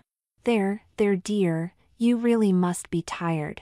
Now think of how wonderful it is to be feminine all the time and how awful it was being a boy. Yes. It really did feel wonderful to be a girl, at least on the way to being a girl. Yuck, a boy. Who'd want to be a boy? I thought. Mum helped me into bed and tucked me in, giving me a kiss goodnight. She was sure that the petticoat session had done the task intended, in reinforcing the post-hypnotic suggestions, making me feel happy and satisfied with my feminization. Maybe the tablets helped as well. I lay in bed, hands wandering across the nightie, reveling in its feel. I became conscious of thinking what harm could it be to enjoy wearing my petticoats, after all they were so beautiful and felt so nice. I struggled to bring back my deeply buried boyish thoughts of rebelling against my situation. I put my hands away from my body, to avoid temptation and thought of the terrible thing done to me. How I regretted the accident with the knife. Then I thought how Mum had engineered me into petticoats before it had happened and how she had convinced Dad and my brothers how I really wanted this. I found myself gaining ground against my conditioning, buoyed by that thought, I tried to get angry and reject those feminine feelings. It was a struggle, often feeling the slinky material still encasing my body, thinking of petticoats and letting my hands wander up and down the silky nightie. Then I would remember just this morning, seeing the result with my own eyes, how Jimmy seemed to have lost his battle. I knew I had to keep my boy self strong but hidden from Mum and Dr. Smythe so I wouldn't be rehypnotized and lose the battle over my identity. I wondered about Dad's role. He was obviously deeply shocked by seeing me cut myself. Maybe he really thought I wanted to be a girl. I soon fell asleep, exhausted. Chapter 6 I was dimly aware of movement outside my room. I lay in bed, consciousness slowly rising, remembering the day before, how surreal it seemed. I felt the slippery material of the nightie now clinging to me, reminding me of my determination not to be lost to the post-hypnotic suggestions and mum smothering me in femininity. My heart palpitated as I realized that I had to get through this day and the next and so on until I could sustain my own identity without mum or Dr. Smythe realizing. For if they did realize that I was resisting, I would be lost. It seemed that I was more in control of my thoughts and my true self after a good night's sleep, I steeled myself for another day, pretending that I had fallen for the hypnotic suggestions. I heard footsteps coming down the corridor, I readied myself, closed my eyes just as the door opened and the light came on. Rise and shine Kelly honey. It was still dark out, why was mom wanting me to get up so early? I opened my eyes, mom was approaching with a wide smile. Mom was still in her pink nightgown and slippers, hair in curlers. What's up mom, it's so early. Honey, we need to get you ready for the day before the men are awake. You really need to improve your look, darling. Do I look that awful, Mom? I forget you are new to everything a girl must do to be presentable. Although you looked really sweet yesterday, we must get rid of that body hair that you are sprouting on your legs and underarms. No self-respecting girl would want that would they? Remembering my plan, I smiled and replied, Oh no, Mum, you are so right. I'll get up right away. Mum smiled, she led me to the bathroom. Take of your lovely nightie and I'll put this cream on you, it will remove your body hair. I didn't want to do this but as my 13-year-old body had only just begun to produce body hair, it was hardly noticeable. I submitted to Mum slathering the foul-smelling cream on my legs, arms, chest and underarms. I began to get uncomfortable after 10 minutes when mum told me to rinse off in the shower, then to climb into the bath. It was a relief to finally get the cream off, but I didn't like seeing my body hair fall away. It was a little awkward as I still had to keep the bandage on my arm dry, so I hung onto the shower base while I rinsed. I was soon hairless except for my head and shut off the water and climbed into the bath. Mum had put in sweet smelling oils and bubble bath. I was going to come out literally smelling of roses. After 15 minutes of relaxing, Mum came in and asked me to get out, holding a warm fluffy bath towel. I stepped out of the bath and she embraced me with the towel as she dried me. I couldn't help but love my mum just then, even as she was doing her best to turn me into a daughter. I smiled, she saw me and smiled too, then hugged me hard. I'll know we're going to love having our mother-daughter time together, she exclaimed. My smile froze for a second but I tried to recover. I'm not sure if mum noticed but she started talking about the clothing that she had laid out for me while I was in the bath, including the gorgeous dress and petticoat combination. Oh, I can't wait to see what you picked. I hope it's the pink tiered dress with the lovely organza petticoat. I smiled and couldn't wait to see. Mum smiled at me, well you will have to wait and see. Mum rubbed me down with the towel then herded me into my room. On the bed were panties, a training bra, a pink and white dress and the pale pink organza petticoat with a satin ribbon edging. Oh the petticoat is just darling mummy, it will really make the dress stand out, I said and felt like I was sinking in a sea of femininity and loving it. Mum just smiled at me and held out the panties for me to step into. It's a pity you have that funny growth there sweetie, she said as my limp genitals swung between my legs. Suddenly I felt disgusted by them. Ooh, I wish they weren't there mummy, can't you make them go away? I said. It's too early for that sweetie, but I can talk to the doctor about it if it bothers you. I know if I had something like that I would be so self-conscious, she replied as she slipped the panties over my bottom. She seemed to think for a moment then said wait there honey, I'll be back soon. I stood there in my panties looking at the bulge in them, slightly disgusted, then wondered why. As I waited, I realized. I had lost myself to the hypnotic suggestions. As it dawned on me what I had asked for, Mum came back into my room. Now this isn't permanent but it will hide your bulge, the doctor told me about this if you ever asked. What is it Mum? I don't want anything permanent. I know sweetie, it takes time to be really happy with who you want to be, so doubts do come up. Just lie on the bed honey and pull down your panties.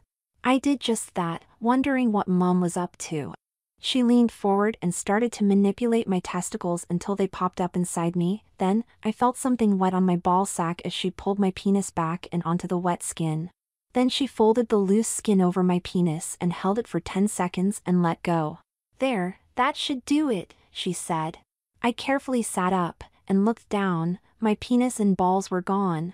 It looked perfectly flat down there, except for two folds of skin going down towards my bottom. What happened? Where did it go? I asked. It's nothing too sophisticated, darling. I just superglued you in place so you look like the girl you were destined to be. Actually, it was surgical glue so it won't come off easily or anytime soon. It binds the skin together. And doesn't it look so natural?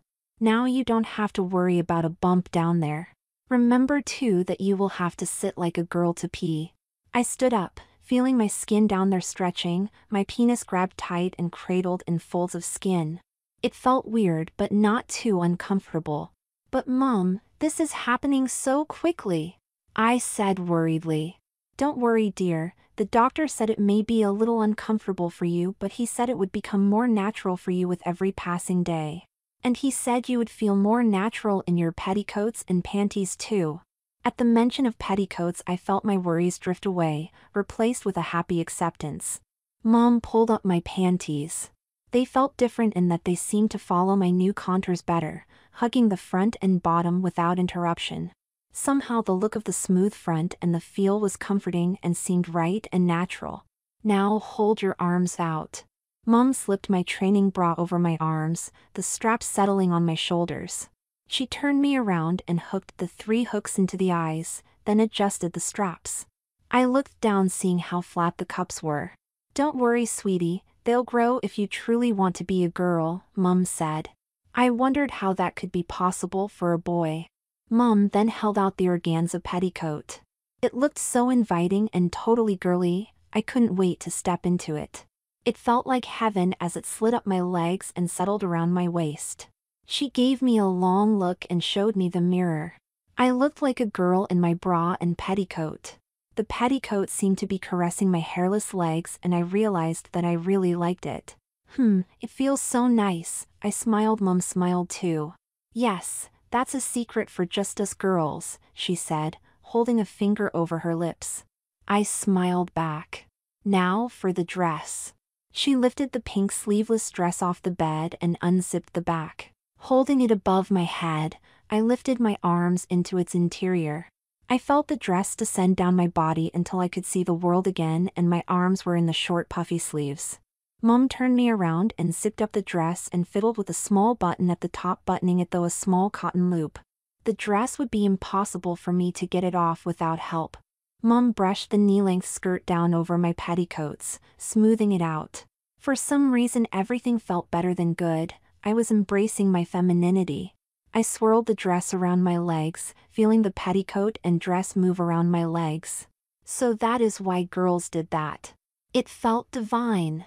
I remembered what I was thinking about the hypnosis, but it seemed so far away now that I was fully dressed and it seemed so silly to be worried about wearing such pretty feminine clothes.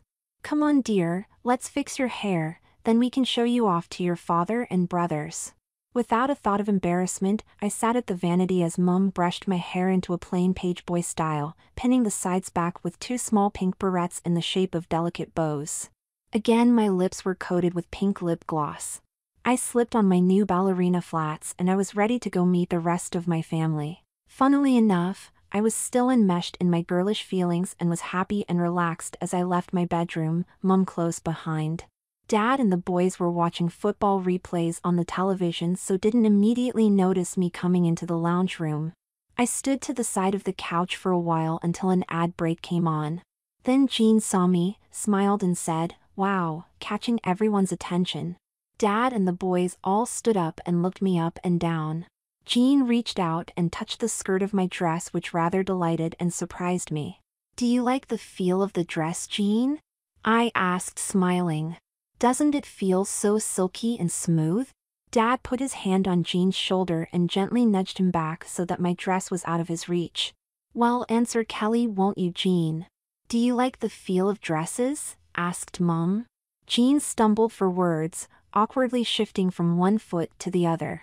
Um, I guess so. But dresses are just for girls just like Kelly. Not for boys like us, Jean replied. Dad gave Jean a little squeeze of approval on the shoulder. Mum just smiled at Jean. Slowly, I was again becoming aware of how wrong this was for me, mixed up still with the feelings of girlishness and acceptance. The niggle wouldn't go away, no matter how I tried to ignore it. Dad and the boys sat down on the couch again as play began again, their attention turned once more to the television, as if the whole episode just didn't happen. Was it a dream? Did Jean just open a window for further changes in the family? I wasn't sure. Mom turned to me and asked, Come on, darling, help me in the kitchen so the boys can have a snack during the game. I followed Mum into the kitchen, feeling the delicious swish of petticoats as they moved around my legs, once again doubts about my situation momentarily receding into the background. I put on my apron, now understanding just how much more important aprons were for women and girls wearing flowing and delicate dresses and skirts, compared to men and boys in rougher clothing and pants that neatly stayed close to the body. We were busy preparing sandwiches when Mum stopped putting filling on the bread slices, looked deep in thought and asked, Jean seemed to like the feel of your dress, honey. Do you think he may be interested in wearing dresses too? You could have a little sister to play with. I was horrified, suddenly feeling the earlier level of disgust at my situation, knowing how close I was earlier in going back for more hypnosis and completely losing all sense of my true self like Jimmy did in the hospital. I realized that I was already losing myself for periods of time where I was happy with my girlish situation.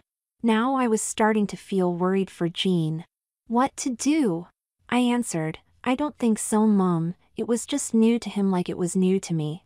No, that's not what I meant, it's just that it was a surprise for him and he acted without thinking. Out of instinct. I reflected that I was making it worse for Jean, not better. I didn't mean to, I was flustered. That's what I mean, Mum said, just like you're flustered now, the truth comes out when you don't have time to think and reflect. Maybe Jean could be persuaded, given enough exposure to girly things to be your sister. No, I don't think so, Mum. I think you're reading too much into this. Maybe I am, but tell me if he seems to be attracted to your clothes or seems to have girlish tendencies. Okay, Mum, but I don't think that will happen, I replied. We finished the sandwich making and put drinks on trays and went back into the lounge, presenting the men with their refreshments.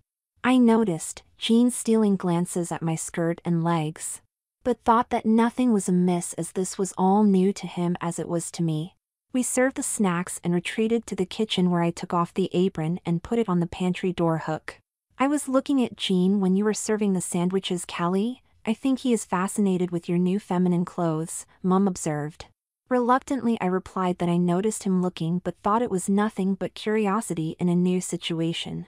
I think he sees how you like your new petticoats and how the petticoats move and the gentle swish they give. Heart newly pounding, I smiled, again hypersensitive to the delicious feel of them around my legs. Oh, I sighed, my petticoats do feel delicious around my smooth legs. In a dreamy fog, I added, maybe he's wondering what he's missing. Then recovering somewhat, I stopped myself adding any more. That's what I thought and you confirmed it, Mum said with a mysterious smile. Chapter 7 Two weeks later. I wished I didn't feel nauseous in the mornings. Mom told me that it would soon pass when my body got used to the medicine that came home with me from the hospital. Every morning Mum would come in and we would have a discussion over which slip or petticoat to wear under which dress for the day which always made me feel goosebumps. Today I was wearing my normal matching pink satin training bra and panties with a frou-frou petticoat that flared out under a cute sundress. I had on a garter belt and stockings and low-heeled court shoes.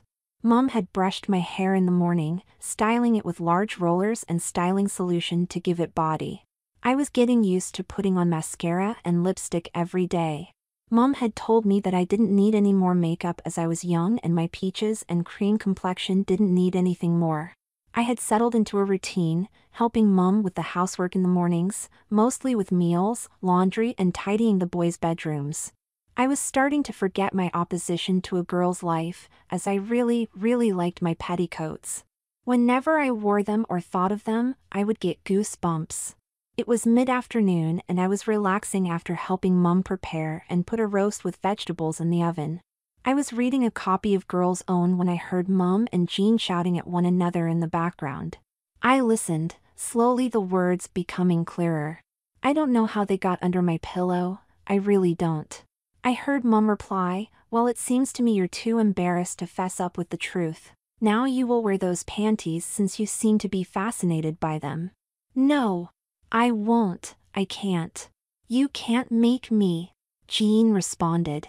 Well, you can stay in your room and miss out on dinner unless you put them on, I heard. But I'm so hungry, Mum, please don't make me.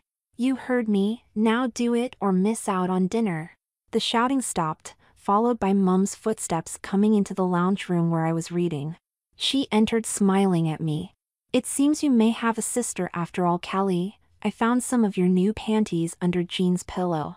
That seemed strange to me as I know that Jean had been out all day and Mum had been busy cleaning the bedrooms. As a new girl, I had been roped in to help clean up Jason's room. I had been dimly aware that Mum had gone into my room before cleaning up David and Jean's bedroom as well. Jean followed Mum out, hearing what was said shouted, I didn't steal your panties and hide them under my pillow and I don't want to wear them either. Now shush Jean, that was not a ladylike way to speak, Mum admonished. Mom, I'm not like Kelly, I'm not a girl. You're wearing nice silky pink panties, aren't you? You must want to be a girl like Kelly here, Mum shot back. Jean's face turned red, arms held stiffly down, fists clenched, but he held in his anger and turned around. I'd rather be hungry than be turned into a girl like Kelly, Jean said as he turned around and went back to his room. I'm taking these horrid panties off and I won't be having dinner. After setting the table for our roast dinner, Mom and I were plating up the meat and vegetables when Jean quietly came into the kitchen.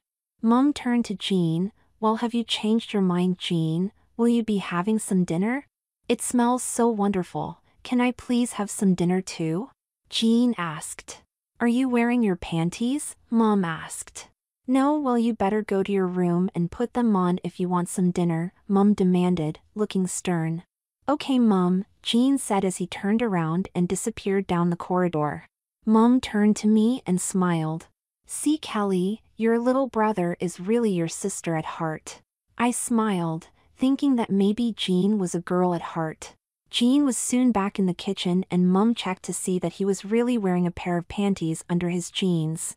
Oh good, Mum said, now don't they feel nice to wear? Jean looked a little surprised and finally admitted that they did. Well now that that is settled, I expect you to continue to wear them and look after them. You will have to hand wash your new panties and put them into your drawer, you're not returning them to Kelly here, she will be getting a new set of panties to replace the ones you stole. I will also get a new supply of panties for you too. I didn't steal anything, I don't know who put them under my pillow but it wasn't me. The heated reply woke in me my own opposition to being feminized. I had been lost in a new feminine world for almost two weeks with little thought to what was happening to me. I looked down with new awareness and horror about my own situation and how my boyish identity had been lost in petticoats. Now mom was working on Jean. Wasn't it bad enough she wanted to turn one of her sons into a girl? I wondered what could I do to stop this. Thinking of my own situation and how I had been maneuvered into wearing girls' clothes, how my boyish personality was almost lost to me, I grew as angry for Jean's new situation and frightened for him too. Soon Dad, Jason and David joined us as we sat down to the roast dinner that had just enticed Jean into wearing panties and given Mum the excuse to keep him in them. After the dinner dishes were washed and put away, Mum followed Jean to his room. I could hear them talking. Soon Mum and Jean were in the laundry and Mum was showing Jean how to hand wash his new, delicate panties. Mum returned to the lounge and sat down beside me on the couch and shocked to find out that Jean was stealing your panties. I think we should take him to see Dr. Smythe to find out what is going on, don't you? No, Mum, don't do that, I said in shock. Don't do that. Maybe someone was pranking Jean, I don't think he put those panties there, he wasn't even home for most of the day, I replied. Well, I don't want to take a chance that he will be unhappy because he denied his desires when he was found out. I think it's best for him to go. Mom, please no. Don't do it, I don't think he's like that. Why are you so against it? Don't you like your petticoats? Haven't you accepted your feminine lifestyle, Kelly dear? I thought you'd be happy to have a sister also in petticoats to talk to, Mum said in a suspicious tone. Mum, I do love my petticoats. I love petticoats and dresses and all things feminine. And I want to share that wonderful girl time with you. I said with the intense feelings that I had just given myself with the trigger word. But I needed to deflect Mum from Jean and I thought if I could focus Mum's mind on me then there wouldn't be room for Jean. I'm new to all of this feminine world and I need to share it with only you. I'm not sure how I would feel if Jean had your attention too. It will just confuse things for me. Please Mom, let us have this time together as mother and daughter. Mom's eyes softened and her face looked puzzled as she thought through my words. I looked at her with pleading eyes. Finally, I saw her face light up. Why darling Kelly, I can see that now. You want to spend the time with me, not Jean, and we can have more fun together.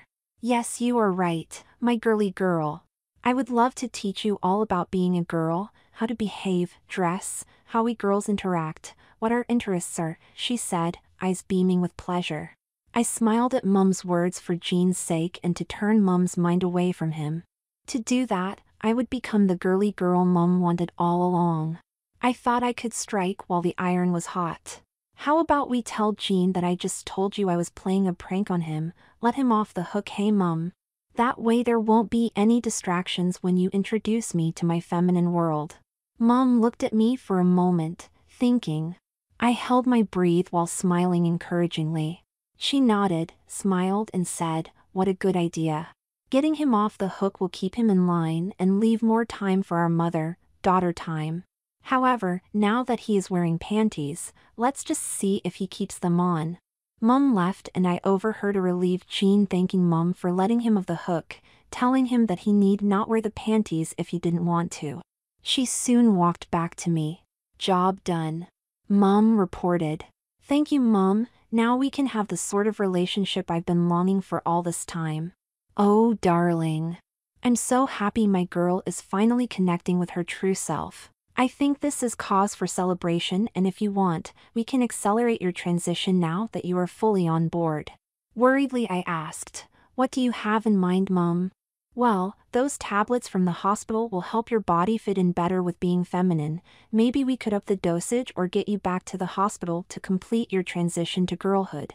Mom, can't we just take it slow and gentle? Look, I'm already in dresses. Isn't that a lot of progress in such a short time? But if you truly want to be a girly girl, you should be looking forward to developing your figure. I can't really see why you want to delay, she said, her voice steadily rising. I knew this was getting out of the little control I had so far managed. I desperately thought of a way to calm her down. Oh, Mum, I do love being a girly girl, but I've hardly had time to adjust to it. I just want to explore things at my own pace. What are you saying? I don't believe it. What you are saying sounds like you made it up just to convince me not to continue helping you. How absurd. You are doing what you truly believe in your subconscious. That is what was what the doctors found out. They told me that if you denied your true feelings you would likely try to kill yourself again. I will not let that happen to you. Mom turned and left the room and into the kitchen where she was charging her phone. She stopped for a little then out the back door. I quietly walked into the kitchen and to the window. She had her phone in her hand talking agitatedly, pacing back and forth. I didn't know what she was going to do. Fearing she would still focus on Jean, I went to his room. He had just closed his dresser drawer and turned to look at me. Look at you in your pretty outfit. Did you do this to me, just to have a sister? You rat, get out of here, he yelled. Jean, Jean, I answered back, listen to me. I'm a victim more than you are. I would never put those panties under your pillow. Mum did it and I got her to stop doing these things to you. You heard what she said to you. All this clothing, my acting is not me. First mom made me do the same things she had you do before I went to the hospital. Now you are safe, so long as I focus her attention on me. Jean visibly relaxed and hearing what I'd said, truly understood that my sacrifice is what saved him. He looked worriedly at me and gave me a hug. Thank you, Kelly. Thank you so much. I don't know how to repay you. Just tell your brothers what I'm doing for you so they know that I really don't want this for myself, it's to help you. It will make it easier for me if they know and don't tease me. Sure thing, Kelly, I'll tell them now. Jean stood up to leave but I held him back, I need to tell you something else. In the hospital, there's a ward where they turn boys into girls. They put me in there. They hypnotized me to think like and want to be a girl. Somehow they made me attracted to petticoats. You have to believe me. What are you saying? That's ridiculous. Why would they do that? But you've been acting girly since you came home.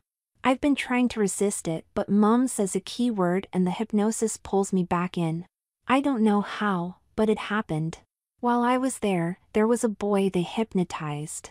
He was trying to fight it, he told me about what was going on but in the end he was hypnotized and he wanted to be a girl. I saw a boy come back from surgery to make him into a girl. It's happening and it's scary. Jean nodded, deep in thought. I heard the kitchen door shut and footsteps come into the house. Don't tell her what I told you. You have to stay true to yourself if she ever focuses on you again. I better go before she sees me talking to you. I slipped out of Jean's room and across the hall into my room. Mom seemed to be staying in the kitchen. That was all right for me, but I was conscious that my great plan to fool Mum into thinking I was lost to a new feminine reality could be uncovered if I slipped up.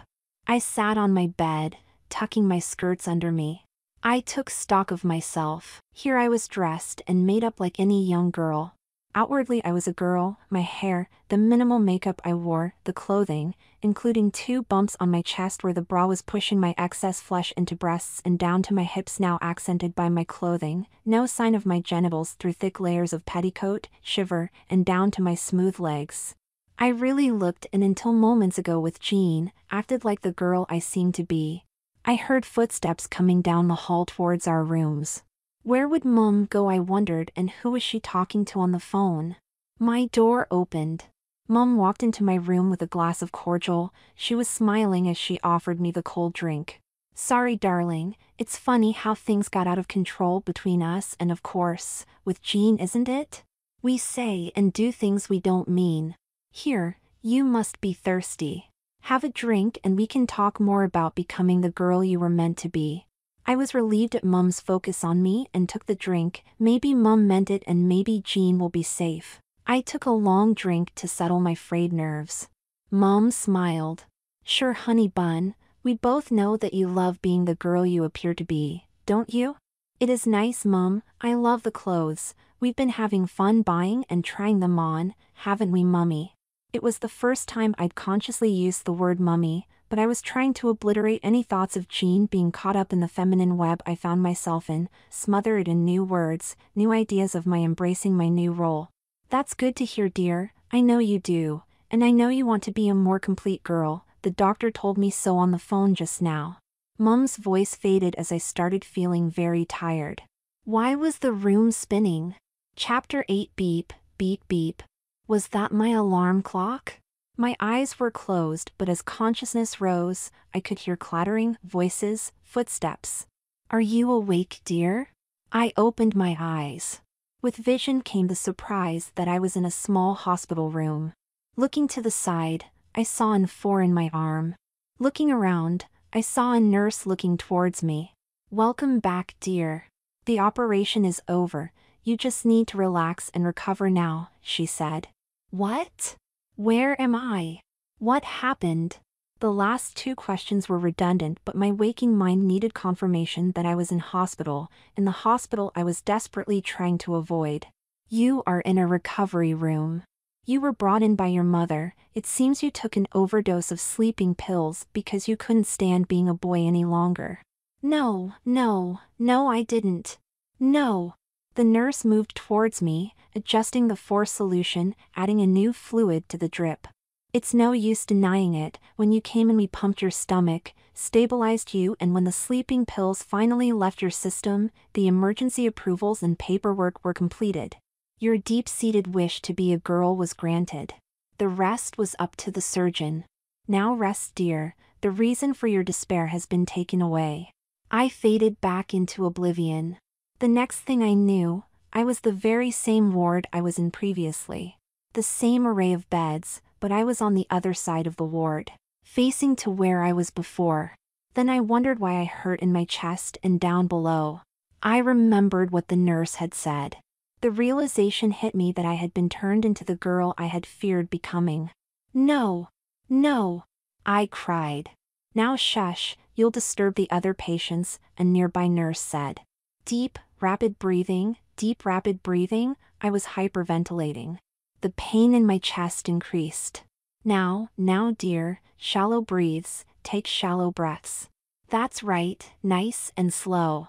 My breathing became slower, the dizziness was fading but the pain continued. That's it, just keep still. What is your level of pain between 0 and 10? It's about 6 I think. Good, that means the medication is doing its job but you will need a little more to make you more comfortable. The nurse gave me two tablets and a glass of water which I happily accepted. She made sure I took the tablets then said, the doctor will be in to see you on his rounds. He can explain everything. The nurse turned and went to see other patients. I dozed off for a while then lazily thinking of my situation and last time I was here. Hearing hushed but urgent sounding voices, I opened my eyes to look at the others in the ward. There was a girl about 16 or 17 on the bed to my right. She was sitting up and reading a teen girl's magazine. The bed on my left was empty. Across the ward, there were three boys that looked worried or concerned. The boy across from me looked about 14, slightly built, had medium length hair for a boy, just covering his ears. He was quietly crying. I could see that he had on a pink hospital gown. The boy next to him was a little older but more solidly built, also wearing a pink gown and looking very annoyed. I assumed it was his mother that was sitting next to him. As I focused on what they were saying, their voices became clearer. Now Brendan dear, I heard the woman say angrily, you were caught forcing yourself on Jody and just in time, otherwise you would have been in juvie by now. Just be thankful that you only have to undergo sensitivity training here for two weeks. Well, I don't like it one bit and I'll leave as soon as I can, he said fuming. Brendan, you will do no such thing. You know you have to cooperate. The doctor will only medicate you to calm you down, not eliminate your desires which you have demonstrated are far too strong for you. Then the good doctor will explain how your actions have affected others and she will find a way for you to understand how they felt when you pushed yourself onto them. But this is stupid, first I have this sissy hospital robe, then they pump me full with injections, I don't know what they'll do. You're just frightened, I can see it in your eyes. Just calm down, accept their advice and soon you'll be out of here, hopefully with a new viewpoint. And you will have escaped being sent to juvie, his mother said, trying to reassure him. I turned my attention to the furthest bed, again a boy, sleeping. He seemed effeminate, his head turned towards me. His eyes, what was it with his eyes? Then I realized that his eyebrows were plucked into feminine arches and his eyelashes looked too long and dark to be natural. I was distracted by the entry of Dr. Smythe into the ward. She was smiling and came straight over to my bed. She sat in the chair next to my bed, leaned over and said, Your mother rang me to say how you have shown your willingness to complete the transition, to take on a feminine role. So I told her how happy we're for you and what to while you still embraced your true femininity. There is no going back. You are evil, how dare you do this to me? I never wanted this but now I can't change it. You've trapped me in a prison of the wrong gender. How could you? I spat. Dr. Smythe looked amused at my outburst. I can speak to you openly now because you have a post-hypnotic suggestion that you cannot tell anyone what has happened to you. I knew when your mother rang that you couldn't have changed so quickly with so few sessions. There must have been some other reason she was convinced you were now so wholeheartedly wanting to be all the girl you could be. So I took advantage of the situation and here we are. And once I put you under again, you will be happy to be a girl for your mother and forget we had this conversation. What are you talking about you bitch? I tried to yell but could only whisper. Hypnotic suggestion? Do you think you are the only patient? No your mother is being treated here as well. She is the one I'm treating through you. She was on the verge of a permanent breakdown when your father brought her to me. She had been increasingly distressed that she could not have a daughter. She was on the verge of dangerous chronic depression. To prevent her from being committed to a mental facility, your father and I decided to save her by giving her what she needed, a daughter.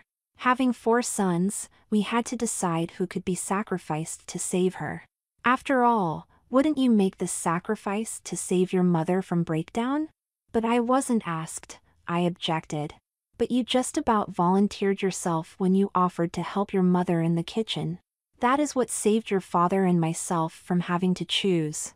You did it yourself. Now sleep. A click of fingers was the last thing I heard. Chapter 9 I woke refreshed, and with less pain than I had the day before. I was happy that I had had the operation, even though I had a strange unsettling feeling. I tried to ignore it while I looked under the bed covers at my chest. Yes, there were delicious lumps where they should be. I was so happy seeing them. My hands wandered down my body, feeling a bandaged groin area. A nurse came in to see me. She was pushing a small trolley and as she came next to the bed, pushed the curtains across so I could have some privacy. I'm here to change your bandages, she told me, it's going to be delicate the first time but will get better progressively after that. I held my breath, knowing it would be painful but necessary. During the process, I got to see that I had on a stiff and bulky brassiere but very small sticks were near my hairless armpits. I couldn't see further down but knew the nurse's ministrations were gentle, strange, yet painful. I was relieved when she had finished. I lay in bed thinking wonderful thoughts about how I had achieved my dream. I opened my half-closed eyes when I heard a commotion across the ward. I saw Brendan had pulled out his four and was trying to reach his clothing drawer. The nurse had caught him and was gently trying to convince him to get back into bed. What confused me was that I heard that he knew others were being hypnotized to accept their changes and that he wasn't going to be one of them. The nurse tried to calm him but eventually she called for another nurse to inject him with a tranquilizer. Once completed and Brendan was back in bed sleeping soundly, the nurse looked around to see who had witnessed his outburst. I feigned being asleep but the boy next to Brendan was wide awake and looking worried. What was he saying? he asked. The nurse cut him off and said there was nothing to worry about and he also received an injection. Soon the two sleeping boys were wheeled out down the corridor. It was about two or three hours later that they came back, smiling like they had just been to the ice cream parlor. After the nurses left, Brendan asked Tony if he liked to dance. Oh yes, Brenda, I would love to dance with a hunky young man. I would get mum to buy me a super neat dress and high heels. I'd have to practice though. I've never worn them before. Tony was waving his arms around as he expressed his emotions in a feminine manner. Oh me too, replied Brenda. I saw a dreamy dress in the latest magazine that I would love to have. Confronted with such rapid changes in attitude, I again questioned my own attitude. Had I been hypnotized to think that I wanted to be a girl? I thought of my body, now that it was complete, I smiled, I was happy. My heart said, don't worry, be happy, but my mind knew something was wrong and a niggle of doubt invaded my thoughts. While recovering on the second day after the operation, I was quite happy with my progress and I was impatient, waiting for the time that I would be able to see the whole of my body. A nurse soon came into the ward, closed the curtains around my bed and began to explain about the need to keep my new vagina open and the use of a dilator. I could see what had been done to my nether regions. I knew what to expect and although I was apprehensive, another part of the welcomed the change. To finally be a girl in body that matched my desire, niggle. The nurse carefully removed the bandages and I could finally see that I was flat down there, my male genitals were gone but I couldn't see anything else, just a shaven mound, then empty space between my legs. The nurse noticed me peering down there. Don't worry dear, from your angle you can't see anything, it's a normal part of being a girl, she said with a look of concern. Oh yes, it will take getting used to, I replied, not wanting her to send me back to Dr. Smythe. I was introduced to the dilator which looked a little like a candle. I had to gently insert it into my new vagina four times a day. It felt strange and more than a little sore if the pain medications were wearing out. However, it really brought home to me that I was no longer a boy but a girl. I saw Dr. Smythe at the end of the first week after the operation. She was so nice and I felt so happy and relaxed after my visits with her. But for some reason, a niggle of doubt and suspicion persisted. I was careful by nature so I did not let anyone know of the state of my mind. Hello there Kelly, how are you feeling about going home as a beautiful girl? Oh doctor, I love my new body, I can't wait to be on my feet and start living a new feminine life like I was meant to, I said, wanting to avoid another hypnosis session. Good, girl, I'm glad you are happy with your transition. She paused for a moment, looking down as if thinking deeply. It seemed I had escaped the hypnosis session that would mess with my own self awareness of what has happened to me. Then she finally looked up and smiled. Your mommy tells me that Jean is very interested in the changes you have made. What do you think of that? she asked. I couldn't help gasping and I know I looked surprised, maybe even worried. Were they going to rope in Jean as well? No, they couldn't. Not after all I have sacrificed. I couldn't speak, my mouth was dry. Dr. Smythe raised her fingers, ready to click them. Next thing I knew, I was calm and happy again while the good doctor was writing down some notes. I reflected, Jean wants to be a girl too, how grand, I'll have a sister. I couldn't wait to encourage him to explore my new, wonderful feminine world. Chapter 10 Mum arrived around midday and brought a change of clothes for my return home. The outfit of a beautiful sundress with the accompanying lingerie made me happy to be immersing myself into the feminine world as a real girl. We arrived home, still finding it hard to walk. I shuffled to my room and lay down on the bed, on top of the covers. Mom told me that Jean had been a great help in my absence. He would be in soon to bring me refreshments. The door opened and in walked Jean, a floral apron tied around his waist. He was still wearing his normal boy clothes but what looked like a plain blouse. He was carrying a tray with a glass of milk on a doily and some cookies on a plate.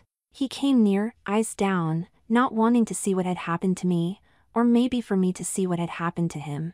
As he set the tray down across my legs, I caught sight of his pink nail polish and sensed a hint of lavender perfume. Hi, Jean. I'm Mum tells me you've been a great help. Mum needed someone to help while you were gone, he replied. I see that she's, um, prettied up your appearance. Are you happy with what she's done? Jean gave me a shy look. No, I'm not sure. She's been on to me ever since you left. First she told me that I would be helping in the kitchen, then I had to wear an apron. Then she had me in the laundry hand washing delicates. That was all the excuse she needed to insist that I need a manicure to avoid runs in the delicates. When she finished the filing, she then put on this horrid pink nail varnish. I can't bear that others can see them. Is that all of it or is there something else? I asked. Jean blushed and said, she also makes me wear panties and camisoles under my outer clothes. It's so embarrassing. My undies drawer is half filled with girlish underwear and mom has thrown out half my boys' underwear. I was disappointed by Jean's attitude. Couldn't he see it was so nice wearing pretty, soft feminine clothing? It's not that bad, Jean. When mom showed me how nice these clothes were, I realized it was a good opportunity to see what it's like to wear such wonderful clothes. Most boys don't get such a chance. I said smiling. But it looks like mom wants me to go further. I don't know, it's not right and each day it seems there are more demands. Jean replied looking miserable.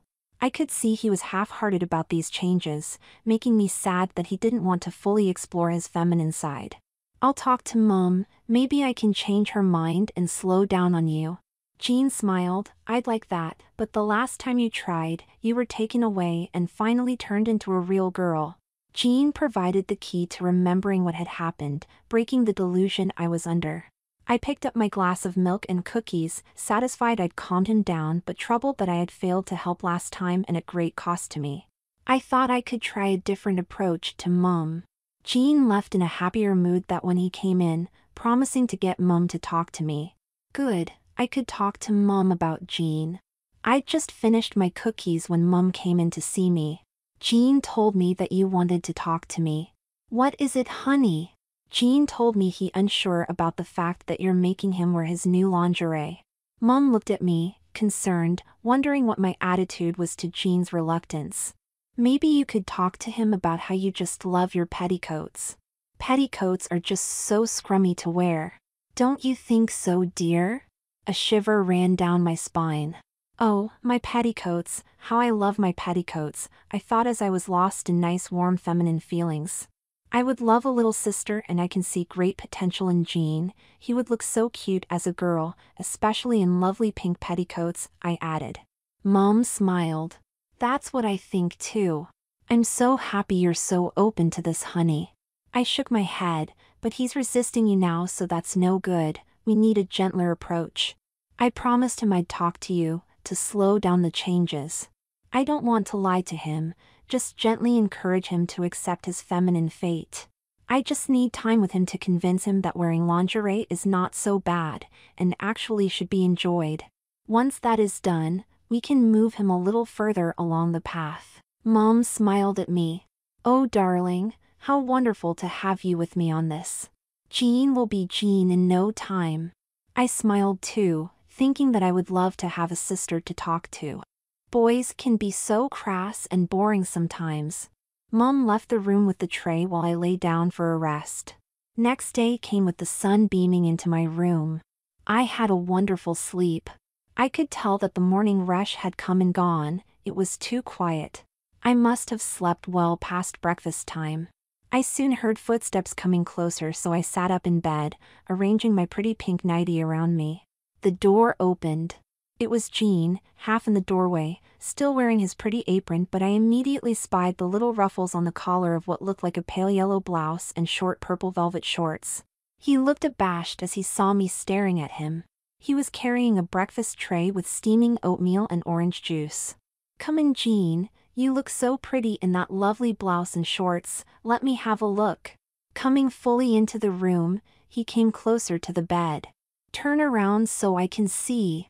I said enthusiastically. He put down the tray on the bedside table then turned around, saying, But I'm so confused, I like how it feels and mum's so encouraging, but I'm a boy and I'm supposed to hate it. Mum stepped up her campaign to change me. I noticed as he turned around for me that he was also wearing dainty ruffle-edged yellow socks and Mary Jane shoes with a 2-inch heel. Now Jean, calm down, settle your emotions so you can think clearly, I pleaded. Jean stepped forward and sat on the edge of the bed, downcast, looking confused. Now don't worry, Jean, I'm sure once I'm fully recovered, Mom will want me back helping her and you can get on with being free to do what you want. He looked up, eyes widening, looking for signs of hope. Do you think so, Kelly? I know so. So in the meantime, just play it cool, go with the flow and don't upset Mum. You never know, you may like wearing these clothes. They suit you. Don't say that, Kelly, you're a girl now so you've nothing to lose, but I do. You are right, but also I can relax in these wonderful clothes.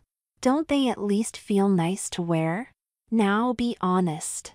I suppose they do feel nice and soft compared to my normal boy clothes, but. No buts, there's your answer. Explore it while you can, while I'm still recovering, you'll be out of them soon and you'll miss a great opportunity that most boys don't have. You might even enjoy going one step further and putting on a petticoat, shiver, and a dress like me. Jean looked dubious but after a while, a look of resolve crossed his features. Okay, no harm in going with the flow, after all, you'll soon be back on your feet, and I'll be back to my normal wear. A smile gradually formed on his lips. That's the spirit Jean. By the way, how have Jason and David reacted to your change in clothing? They don't say anything. I think that they fear if they do then they will be next. Tosh. They don't have anything to worry about. You can tell them. You're just replacing me until I'm up and about. Tell them that. I suggested to Jean. Jean smiled, getting more confident and less concerned about his own situation. I will tell them right now, he smiled. In the meantime, don't let your oatmeal get cold and gluggy. He then left me to my breakfast. I felt that my approach was working and I'd have a sister before too long. Twinge. What was I thinking? Jean to be a sister? Why did that cause me some concern? After all, I was happy being a girl, wasn't I? There was something in the back of my mind that I couldn't quite grasp, an unsettling feeling. I concentrated. Me, a girl, me a girl, coming closer, me a girl, me a. Oh my! I'm a girl, I've had the operation hastened by me wanting to protect Jean in the first place. My eyes widened as I realized it was all for nothing and I felt my mind came out of a fog it had been in. Now mom wants the same for Jean. I was horrified that this could be happening to Jean so soon after I had reached the ultimate in feminization. Was mom mad? She already had me where she wanted me, as her daughter. Why did she want Jean to be a girl too? For that matter, why was I wanting him to be a girl, encouraging him to go further and wear petticoats and dresses? Think, think, something is really wrong. Of course, now I remember, I've been hypnotized by Dr. Smythe. I must have been under her influence for longer each time she hypnotizes me. I know it's me under her influence, but it's not me, not my natural attitudes anyway. And where was Dad in all of this? I had to find out from Jean so I called out for him. Jean entered the room to collect the breakfast things, he was still in his girlish clothes and apron. I had to know straight away so I launched into questioning him. What did dad say when mum started treating you like that?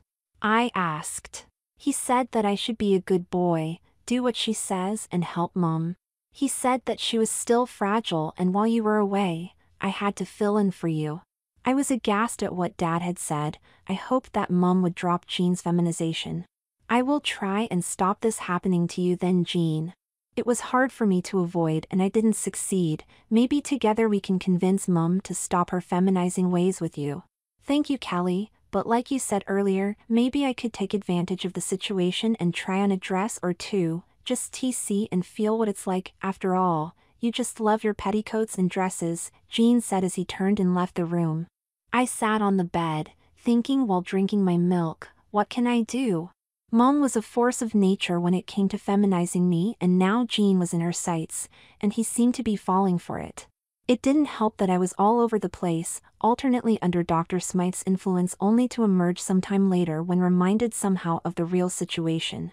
It seemed though that I was more content being a girl, helping Jean seemed to take my mind off my own situation. I must have dozed off for a while for I was woken by the sound of my bedroom door opening. I looked around and saw Jean walking with Mum behind him. His longish hair was styled in a page boy style with a hair clasp holding back hair off his forehead. His lips showed signs of pink lip gloss. He was smiling and swishing his new dress around, mum beaming.